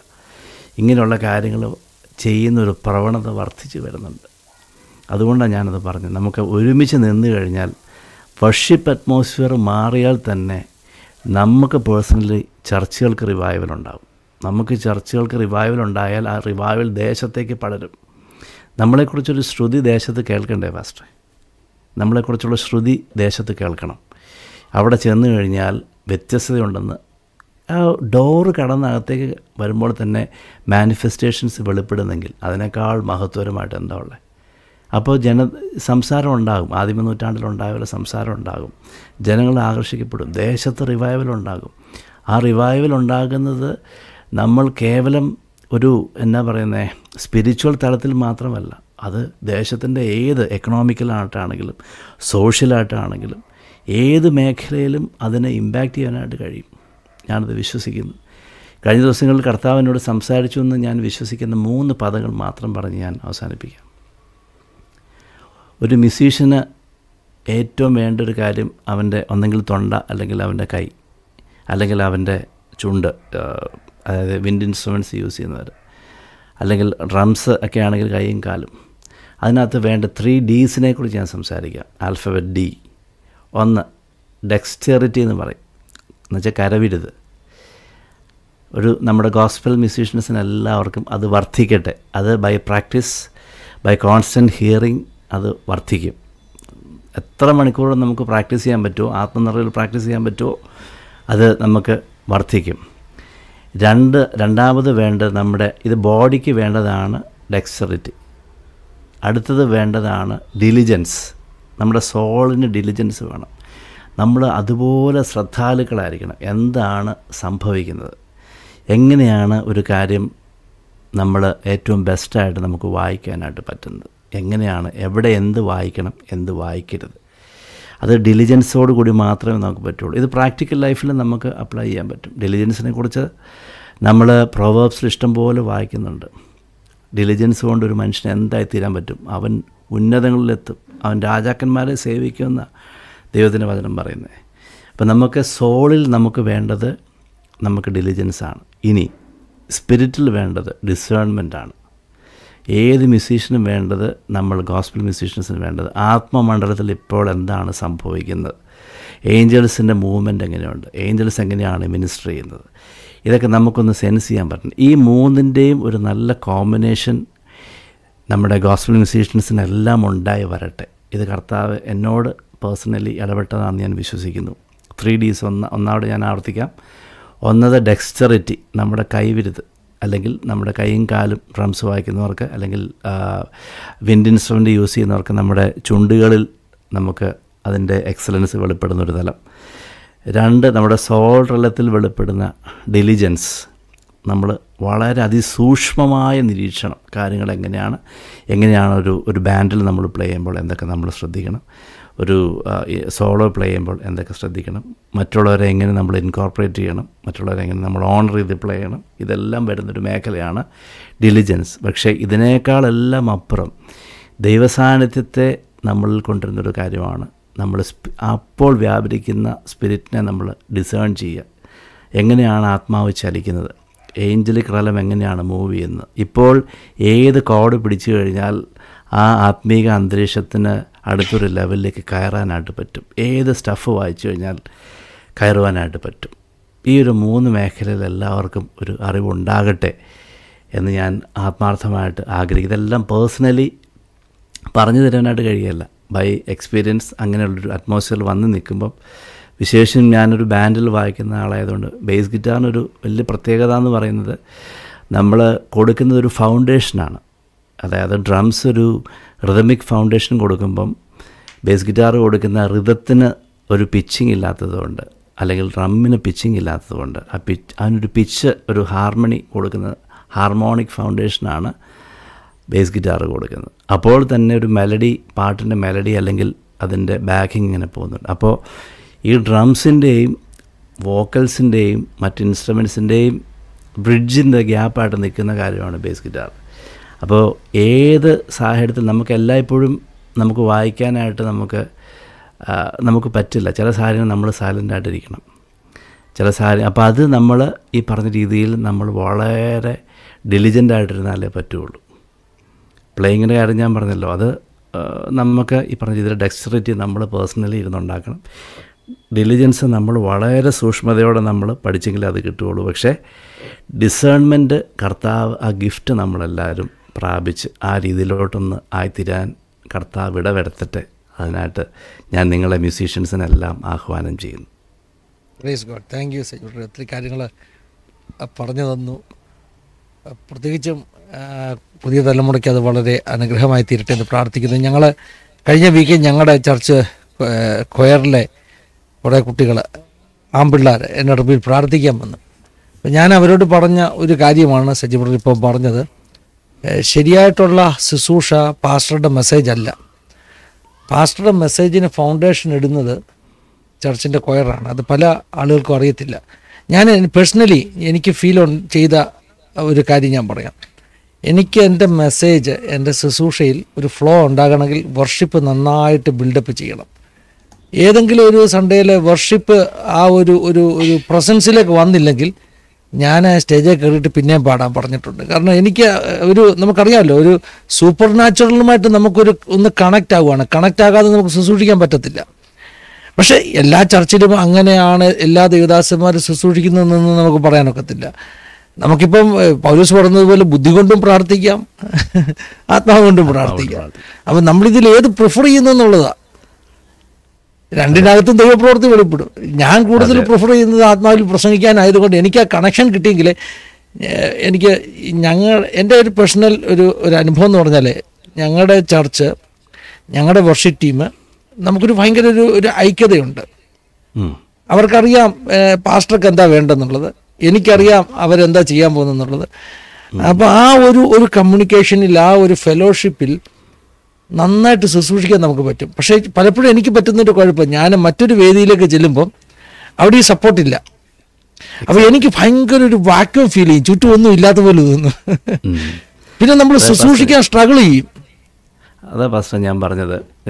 ഏറ്റവും അതിന് മോഡൽ ചെയ്യേണ്ട ഒരു വ്യക്തി അറ്റനു പാസ്റ്റർ. അറ്റനു പാസ്റ്ററിന്റെ അടുത്ത് ഞാൻ രണ്ടായിരത്തി പതിനേഴ് മുതൽ അതൊരു ഒരു ഒരു പ്രോഫറ്റിക്കൽ ഇതിന്റെ ആൻസറായിരുന്നു ഞാൻ അറ്റനു പാസ്റ്ററിന്റെ കൂടെ വായിക്കാനായിട്ട് നിൽക്കുക എന്നുള്ളത്. അപ്പം ഞാൻ ആദ്യം ശ്യാമിനെ കാണുമ്പോൾ ശ്യാം മെയ് ഒരു നോർമൽ കീബോർഡ് പ്ലെയറാണ് അത് കഴിഞ്ഞതിന് ശേഷം ടിനുപാസ്റ്ററുമായിട്ട് അസോസിയേറ്റ് ചെയ്ത് കൂടെ വന്ന് വന്ന് ശ്യാം ഇപ്പോൾ പ്രോഫറ്റായി ഇപ്പം പല ലോകത്ത് നടക്കുന്ന പല ഡിസാസ്റ്ററിനെ കുറിച്ചും കർത്താവ് പുള്ളിയോട് സംസാരിച്ച് ശ്യാമിനോട് സംസാരിച്ച് ശ്യാം അത് യൂട്യൂബിൽ അതിന്റെ ഇടുന്നുണ്ട്. കണ്ടോ? ആ ആ ഷിഫ്റ്റ് കണ്ടോ? അതുപോലെ തന്നെ നമുക്ക് ഈ നാളുകൾ വളരെ ശ്രദ്ധിക്കേണ്ട ഒരു വ്യക്തിത്വമാണ് ബ്രദർ ജോ അശോക്. അദ്ദേഹം അരവിന്ദ് മോഹൻ പാസ്റ്ററുടെ കൂടെ ട്രിവാൻഡത്തുണ്ട് ഇപ്പോൾ മിക്കവാറും അരവിന്ദ് മോഹൻ പാസ്റ്റർ ശുശ്രൂഷിക്കുമ്പോൾ ജോ കൂടെ കടന്നു വരണമെന്ന് അവരാവശ്യപ്പെടുന്നതായിട്ട് ഞാൻ മനസ്സിലാക്കുന്നു. ആ ഒരു കോമ്പിനേഷൻ ഭയങ്കരമാണ്. ആ സ്പിരിറ്റിൽ ഒഴുകി അങ്ങനെ അതെ അതെ. അപ്പം അങ്ങനെ അങ്ങനെയുള്ള കോം കോമ്പിനേഷൻസ് വരട്ടെ എന്ന് ഞാൻ പ്രാർത്ഥിക്കുന്നു പാസ്റ്റർ കർത്താവ് പിന്നെ പറഞ്ഞ വളരെ സത്യമാണ്. ഞാൻ കഴിഞ്ഞ വീക്ക് എന്റെ ചർച്ചിലെ കുഞ്ഞുങ്ങളോട് ഞാൻ പറഞ്ഞു ഒരു സൺഡേ ആരാധനയുടെ ഏറ്റവും ഇമ്പോർട്ടന്റ് പാട്ട് ആദ്യം തുടങ്ങുന്ന വർഷിപ്പ് ആ വർഷിപ്പിൽ ദൈവസാന്നിധ്യം അടങ്ങി ഫ്ലോ ഉണ്ടാക്കിയാൽ മാത്രമേ ബാക്കി എല്ലാ ശുശ്രൂഷകളും അതിന്റെ അനുഗ്രഹത്തിലേക്ക് വരത്തുള്ളൂ. നമ്മുടെ ചർച്ചകളൊക്കെ അങ്ങനെ ഒരു അറ്റ്മോസ്ഫിയറിലേക്ക് വരട്ടെന്ന എന്റെയും ആഗ്രഹവും പ്രാർത്ഥനയും നമുക്ക് അങ്ങനെ പ്രാർത്ഥിക്കുക നമ്മുടെ എല്ലാ ചർച്ചകളിലും നല്ല വർഷിപ്പ് നല്ല വർഷിപ്പും പരിശുദ്ധാത്മാവിന്റെ ഫ്ലോയും ഒക്കെ ഒന്ന് ഇറങ്ങി. ഒരു പഴയകാല അനുഭവമൊക്കെ ഉണ്ടാകട്ടെ നമുക്ക് പ്രാർത്ഥിക്കാം. അങ്ങനെയുള്ള ഇതാ ഇതൊക്കെയാണെന്ന് പറഞ്ഞാലും എനിക്ക് കിട്ടിയൊരു ഫൗണ്ടേഷൻ അത് ദൈവത്തിന്റെ വലിയ കൃപയാട്ടോ. ഇപ്പോൾ ഐസക് സാറിന്റെ കാര്യം ഞാൻ പിന്നെയും ആവർത്തിക്കുന്നു. ഐസക് സാറ് ഭാര്യപുര യോനാച്ചായൻ ആ, Panicker sir ആനണി sir P R B pastor ഇവർ അഞ്ച് പേര് കൂടി എന്റെ വീടിന്റെ അടുത്ത് റോഡിന്റെ അപ്പുറത്തും ഇപ്പുറത്തും അവർ കൂടി ഇരുന്ന് പ്രാർത്ഥിച്ച ദേശം കുലുങ്ങുമായിരുന്നു. ആ ഒരു സിറ്റുവേഷനിൽ നമുക്കൊന്ന് ചിന്തിക്കാൻ. അന്ന് ശുശ്രൂഷകൾക്ക് ഇന്നത്തെ പോലെ ഒരു മാർക്കറ്റിംഗ് ഇല്ല ഒരു മീഡിയത്തിലൂടെ അവർ അറിയപ്പെടുന്നില്ല. അവർ കർത്താവിന് വേണ്ടിയിട്ടായിരുന്നു അവർ മൊത്തം നിന്ന് പക്ഷേ അവർ അഞ്ച് പേരോട് കൂടിക്കഴിഞ്ഞാൽ അതാണ് എന്നെ പിടിച്ചു നിർത്തുന്ന ഒരു ഘടകം. എന്ന് പറഞ്ഞതുപോലെ പക്ഷേ നമുക്കിതിനകത്ത് ഒരു ഒരു എക്സ്ട്രീമിലേക്ക് നമ്മൾ പോകരുത് നമ്മൾ മ്യൂസിക്കിന്റെ എക്സ്ട്രീമിലോട്ട് നമ്മൾ പോകരുത് എക്സ്ട്രീമിലോട്ട് പോകരുത് ഞാൻ പറഞ്ഞ കാര്യം കർത്താവിന്റെ സാന്നിധ്യമാണ് മ്യൂസിക് അതിന്റെ ഒരു മീഡിയം മാത്രമേ ആകുന്നുള്ളൂ നമ്മൾ ഫുള്ളി ഇത് മ്യൂസിക്കൽ എക്സലൻസിലോട്ട് മാത്രം നമ്മൾ മാറുമ്പോൾ പ്രാക്ടീസിന് വേണ്ടി തന്നെ നമ്മൾ സമയം ചെലവഴിക്കുമ്പോൾ പേഴ്സണൽ ഡിവോഷനും പേഴ്സണൽ പ്രെയറിനും സമയം കവർന്നെടുക്കും. അപ്പോൾ അത് മ്യൂസിക്കല്ല മെയിൻ വർഷിപ്പാണ് മെയിൻ പക്ഷേ ആ മ്യൂസിക് അതിന്റെ ഒരു പാർട്ടാകുന്നതേ ഉള്ളൂ. അതും നമ്മുടെ കൂട്ടായ്മകളിൽ ശ്രദ്ധിക്കണം. അല്ലെങ്കിൽ നമ്മൾ ഒരു ദിവസം പതിനാല് മണിക്കൂർ പതിനാറ് മണിക്കൂർ നമുക്ക് പ്രാക്ടീസിന് വേണ്ടി ഹോൾ കോൺഗ്രിഗേഷൻ ചിലവഴിക്കാം. പക്ഷേ ഇപ്പോൾ കണ്ടുവരുന്ന പല ചർച്ചകളിലെയും ട്രെൻഡ് അത് എനിക്ക് വളരെ നൽ- നന്നായിട്ട് തോന്നി. ഒരു മണിക്കൂർ കുറഞ്ഞത് ആത്മാവിൽ പ്രാർത്ഥിച്ചവരെ മാത്രമേ അവർ ശുശ്രൂഷയ്ക്കായിട്ട് സ്റ്റേജിൽ കയറ്റാറുള്ളൂ. അപ്പോൾ അതിന്റെ ഒരു പ്രീ റിക്വസ്റ്റ് എന്ന് പറഞ്ഞാൽ എല്ലാവരും ആത്മനിറവ് പ്രാപിക്കണമെന്നുള്ളതാണ് ആണല്ലോ. അപ്പോൾ ആത്മനിറവ് പ്രാപിച്ച എല്ലാവരും സ്റ്റേജിൽ കയറി ശുശ്രൂഷിക്കുന്ന ഒരു തലം ഏറ്റവും ബെസ്റ്റാണ്. അതിനേക്കാൾ അപ്പുറത്ത് മറ്റൊന്നുമില്ല. എല്ലാവരും അങ്ങനെ ആകട്ടെ. എല്ലാവരും അങ്ങനെ ആകട്ടെ അതെ ഞാൻ അതെ നമുക്ക് അങ്ങനെ പ്രാർത്ഥിക്കാം. ദൈവ അങ്ങനെ തന്നെ ചെയ്യട്ടെ. ഏഹ് സജിബയുടെ ഒത്തിരി കാര്യങ്ങൾ നമ്മൾ കേൾ കേട്ടു. സജിബയുടെ ജീവിതാനുഭവങ്ങൾ കേട്ടു. സംഗീത ശുശ്രൂഷയുമായിട്ടുള്ള ബന്ധത്തിലുള്ള അനുഭവങ്ങൾ കേട്ടു. നമുക്ക് നമ്മുടെ വ്യൂവേഴ്സിന് വേണ്ടി ഒന്ന് പ്രാർത്ഥിക്കാം. പ്രത്യേകിച്ചും കുഞ്ഞുങ്ങൾ പുതിയ തലമുറയിൽ നിന്ന് നല്ല മ്യൂസീഷ്യൻസ് വർഷിപ്പേഴ്സ് എഴുന്നേറ്റ് വരേണ്ടതിന് പ്രാർത്ഥിക്കാം. അങ്ങനെ ആഗ്രഹിക്കുന്ന ഒത്തിരി കുഞ്ഞുങ്ങളുണ്ട്. അവരൊക്കെ ശരിയായ ഡയറക്ഷനിലേക്ക് ഗൈഡ് ചെയ്യപ്പെടട്ടെ. നമ്മളൊന്നിച്ച് പ്രാർത്ഥിക്കുമ്പോൾ സജീവ്രന് തന്നെ അവരെ ഒന്ന് പ്രാർത്ഥിച്ച് ബ്ലസ് ചെയ്യാം. Thank you Jesus thank you Jesus വന്യപിതാവെ ഇന്ന് രാത്രി ഞങ്ങൾ ഒരുമിച്ച് കർത്താവിന്റെ സന്നിധിയിലേക്ക് അടുത്തു വിടുന്നു കർത്താവെ അടിനെ ശ്രദ്ധിക്കുന്ന കർത്താവെ ശുശ്രൂഷകർക്കായ സ്തോത്രം. അവർ മ്യൂസീഷ്യൻസ് അല്ല അവർ ശുശ്രൂഷകരാണ്. കർത്താവെ അവരുടെ ജീവിതത്തിൽ വന്നുപോയ പല കയ്പുകളും കർത്താവെ അവരുടെ കർത്താവെ ടാലന്റിനെയും അവരുടെ ഡെസ്റ്റിനിയെയും കർത്താവെ ശ്വാസം മുട്ടിക്കുന്ന അനുഭവങ്ങളിലേക്ക് തിരിച്ചിട്ടുണ്ടെന്ന് ഞങ്ങൾ തിരിച്ചറിയുന്നു. ദൈവമേ അതെല്ലാം അങ്ങ് ഒപ്പിയെടുത്ത് കർത്താവെ മാറ്റേണ്ടതിനായിട്ട് ഇന്ന് രാത്രി പ്രാർത്ഥിക്കുന്നു. കർത്താവെ ദൈവം മ്യൂസിക്കൽ ടാലന്റ് കൊടുത്തിരിക്കുന്ന കർത്താവെ ഇൻസ്ട്രുമെൻസ് പ്ലേ ചെയ്യുന്ന പ്രിയപ്പെട്ടവർക്കായിട്ടും കർത്താവെ വർഷിപ്പ് ലീഡ് ചെയ്യുന്ന പ്രിയപ്പെട്ടവർക്കായിട്ടും കർത്താവിടെ പ്രാർത്ഥിക്കുന്നു. അവരെല്ലാം ദൈവം പരിശുദ്ധാത്മാവിന്റെ വലിയ നിറവിനാൽ ആദ്യം നിറയ്ക്കേണ്ടതിനായിട്ട് ഞാൻ പ്രാർത്ഥിക്കുന്നു. കർത്താവെ ആത്മനിറവില്ലാതെ ഒന്നും ഞങ്ങൾക്ക് കഴിയുന്നതല്ല. ഞങ്ങൾ എക്സെപ്ഷണലായി തീരണമെന്ന് കർത്താവ് എല്ലാ കാലങ്ങളിലും ആഗ്രഹിക്കുന്നു. ദൈവമേ ദൈവം അത് സാധിപ്പിക്കണമേ. എല്ലാവരുടെ ഉള്ളിൽ ആദ്യം അപ്പനെക്കുറിച്ചുള്ള വിശപ്പും ദാഹവും ആഴത്തിൽ അങ്ങ് വർദ്ധിപ്പിക്കേണ്ടതിനായി പ്രാർത്ഥിക്കുന്നു. അതിലൂടെ ആത്മസാന്നിധ്യത്തിന്റെ കണ്ടെയ്നേഴ്സാക്കി അവർ മാറ്റപ്പെടുന്നതിനോടൊപ്പം തന്നെ. കർത്താവെ അവരുടെ താലന്തുകളും അവരുടെ മേലുള്ള നിയോഗങ്ങളും അവരുടെ മേലുള്ള അഭിഷേകവും ഇത് മൂന്നും കർത്താവെ ആഴത്തിൽ വർദ്ധിച്ച് അവരുടെ കർത്താവെ ഇമ്പാക്റ്റ് ചെയ്യുന്ന കർത്താവെ ആ ഡിഗ്രി ഒന്ന് വർദ്ധിക്കുവാൻ ഞാൻ പ്രാർത്ഥിക്കുന്നു. അവർ കർത്താവിനോട് പറ്റി നിൽക്കുന്നതിനോടൊപ്പം തന്നെ അനേകരെ അങ്ങയിലേക്ക് വലിച്ചടിപ്പിക്കുവാൻ അവരിലൂടെ പരിശുദ്ധാത്മ നദി ആഴത്തിലൊഴുകുവാൻ ഞാൻ പ്രാർത്ഥിക്കുന്നു. അപ്പനോടുള്ള ഇന്റിമസി കൂടാതെ ഞങ്ങൾക്ക് ഒന്നും കഴിയുകയില്ലെന്ന്. കർത്താവെ യേശു കർത്താവ് പോലും പറഞ്ഞല്ലോ പിതാവിനെ കൂടാതെ തനിക്ക് ഒന്നും കഴിയുകയില്ലെന്ന്. അങ്ങനെയെങ്കിൽ കർത്താവെ ഏറിയ ഡിപ്പെൻഡൻസി ഞങ്ങളിൽ നിന്ന് കർത്താവെ ഹാലലു അങ്ങ് ആഗ്രഹിക്കുന്നത് അതുപോലെ തന്നെ ഞങ്ങളും ആയിത്തീരേണ്ടതിനായി പ്രാർത്ഥിക്കുന്നു. കർത്താവ് അനുഗ്രഹിക്കണം. ഇവരെല്ലാം അങ്ങ് കർത്താവെ വിശേഷിച്ച് കർത്താവ് ഇൻസ്ട്രുമെൻസ് വായിക്കുന്ന കുഞ്ഞുങ്ങളെ ദൈവം ഗ്രേറ്റർ ടാലൻസിലാൽ കർത്താവ് നിറയ്ക്കണമേ. കർത്താവെ അവർ തന്നെ ഇരുന്ന് പ്രാപിക്കുന്ന പ്രാർത്ഥിച്ച് താഴ്ന്ന് വർദ്ധിപ്പിക്കുന്ന ഒരു തലത്തിലേക്ക് പരിശുദ്ധാത്മാവരെ കൊണ്ടുപോകണം. അതിനായിട്ട് ഞാൻ പ്രാർത്ഥിക്കുന്നു. വർഷിപ്പ് ലീഡ് ചെയ്യുന്ന കർത്താവെ കുഞ്ഞുങ്ങൾക്കായി പ്രാർത്ഥിക്കുന്നു. അവരെ ദൈവം അനുഗ്രഹിക്കണം അവരുടെ ശബ്ദത്തോടു കൂടിയിരിക്കണം നന്നായി പാടുവാൻ കർത്താവെ പെർഫെക്റ്റ് പിച്ചിങ്ങിൽ പാടുവാൻ കർത്താവെ നല്ല വിബ്രാറ്റോയിലും കർത്താവെ മ്യൂസിക്കലി എന്താണ് അവിടെ ആവശ്യമുള്ളത് അതെല്ലാം അങ്ങനെ തന്നെ വെളിപ്പെടുന്ന ഒരു ശുശ്രൂഷ കർത്താവെ ആ കുഞ്ഞുങ്ങൾക്ക് ദൈവം നൽകേണ്ടതിനായി പ്രാർത്ഥിക്കുന്നു. എന്തു തന്നെയാണെങ്കിലും ഈ തലമുറകൾ ശുശ്രൂഷയ്ക്ക് വേണ്ടി ഒരു വേദിയിൽ കയറുമ്പോൾ കർത്താവെ മാനിഫെസ്റ്റേഷൻസ് വെളിപ്പെടുത്തെ കർത്താവെ അതിനുവേണ്ടി മാത്രം ഞാൻ ആഗ്രഹിക്കുന്നു. അതിനുവേണ്ടി പ്രാർത്ഥിക്കുന്നു കർത്താവെ. ഹാലലുയ ദൈവമേ അത് ഞങ്ങളുടെ തലമുറകളെ ഈ കണ്ടംപററി ജനറേഷനെ നേടേണ്ടതിന് കർത്താവെ അങ്ങ് ഇടപെടുത്തുമല്ലോ ഞങ്ങൾ കർത്താവെ ഞങ്ങളുടെ ഫോക്കസ് എല്ലാം കർത്താവ് ഇപ്പോഴത്തെ തലമുറകൾക്ക് വേണ്ടി ഈ കാലഘട്ടത്തിലെ നിയോഗം ഏറ്റെടുത്ത് ശുശ്രൂഷിക്കുന്നവരാക്കി ഇവരെ തീർക്കേണ്ടതിന് കർത്താവെ ഇന്ന് രാത്രി പ്രാർത്ഥിക്കുന്നു. ദൈവം അത്ഭുതങ്ങളെ ചെയ്യണം. ഓരോരുത്തരെയും പിതാവിന്റെയും പുത്രന്റെയും പരിശുദ്ധാത്മാവിന്റെ നാമത്തിൽ അടിയനെ പ്രാർത്ഥിക്കുന്നു. നന്മളാൽ ദൈവം നിറയ്ക്കണമേ. കുഞ്ഞുങ്ങൾക്ക് ആവശ്യമുള്ള ഇൻസ്ട്രുമെന്റ്സ് ദൈവം നൽകണമേ. കർത്താവെ ആരും അതിന് ബുദ്ധിമുട്ടുവാനിട ഇടവരാതെ ഉയരത്തിലെ പ്രൊവിഷൻ കൊണ്ട് ഏറ്റവും ബെസ്റ്റ് ഇൻസ്ട്രുമെൻസും അതിനാവശ്യമായിട്ടുള്ള എല്ലാ സജ്ജീകരണങ്ങളും ദൈവം നൽകേണ്ടതിനായി പ്രാർത്ഥിക്കുന്നു. കർത്താവിനത് ചെയ്യുവാനായി കഴിയും. ദൈവം അങ്ങനെ ചെയ്യുന്നതിനായി സ്തോത്രം. പാടുന്ന കുഞ്ഞുങ്ങൾക്ക് വേണ്ടി പ്രാർത്ഥിക്കുന്നു. നല്ല മൈക്രോഫോൺസും അതിന് ആവശ്യമായിട്ടുള്ള സകല എക്യുപ്മെൻസും ദൈവം നൽകണമേ. എല്ലാവരും എക്സലന്റ് ആയി തീരട്ടെ എന്ന് പ്രാർത്ഥിക്കുന്നു. സ്പിരിറ്റ് ഓഫ് എക്സലൻസ് ഈ കർത്താവേ ഹാലലൂയ ഈ അടിനെ ശ്രദ്ധിക്കുന്ന കർത്താവ് എല്ലാ മ്യൂസീഷ്യൻസിനും എല്ലാ വർഷിപ്പ് ലീഡേഴ്സിനും അങ്ങ് പ്രദാനം ചെയ്യേണ്ടതിനായി പ്രാർത്ഥിക്കുന്നു. കർത്താവ് അങ്ങനെ ചെയ്യുന്നതിനായി സ്തോത്രം. മഹത്വം അപ്പൻ അർപ്പിക്കുന്നു. യേശുവിൻ നാമത്തിൽ പിതാവേ. അമേ അമേൻ അമേൻ അമേൻ പിതാപുത്ര പരിശുദ്ധാത്മാവാകുന്ന ത്രിയേക ദൈവത്തിന്റെ കൂട്ടായ സഹവാസക്കാവൽ നമ്മെല്ലാവരുടെ മേലും പ്രത്യേകമായി നമ്മുടെ നാട്ടിൽ കിടന്ന ജീവിതാനുഭവങ്ങൾ പങ്കുവെച്ച പ്രിയ സജീവത്തിന്റെ മേൽ തന്റെ ശുശ്രൂഷയുടെ മേൽ കുടുംബത്തിന്റെ മേൽ ഇന്നു മുതൽ എപ്പോഴും നേക്കും ഉണ്ടായിരിക്കുമാറാകട്ടെ. ആമേൻ. ആമേൻ ആമേൻ ആമേൻ. താങ്ക് യു സജീവ ഒരു പ്രാവശ്യം നന്ദി പറയുക. താങ്ക് യു ധാരാളമായിട്ട് നിങ്ങളെ കുടുംബമായിട്ട് സഹായിക്കുകയും അനുഗ്രഹിക്കുകയും ഉപയോഗിക്കുകയും ചെയ്യട്ടെന്ന് പ്രാർത്ഥിക്കുന്നു. താങ്ക് യു ഇത്രയും സമയം ഞങ്ങളോടൊപ്പം പങ്കുവച്ചത് പ്രേക്ഷകരോട് നന്ദി പറയുന്നു. Thank you all thank you for watching God bless you all have a wonderful time God bless you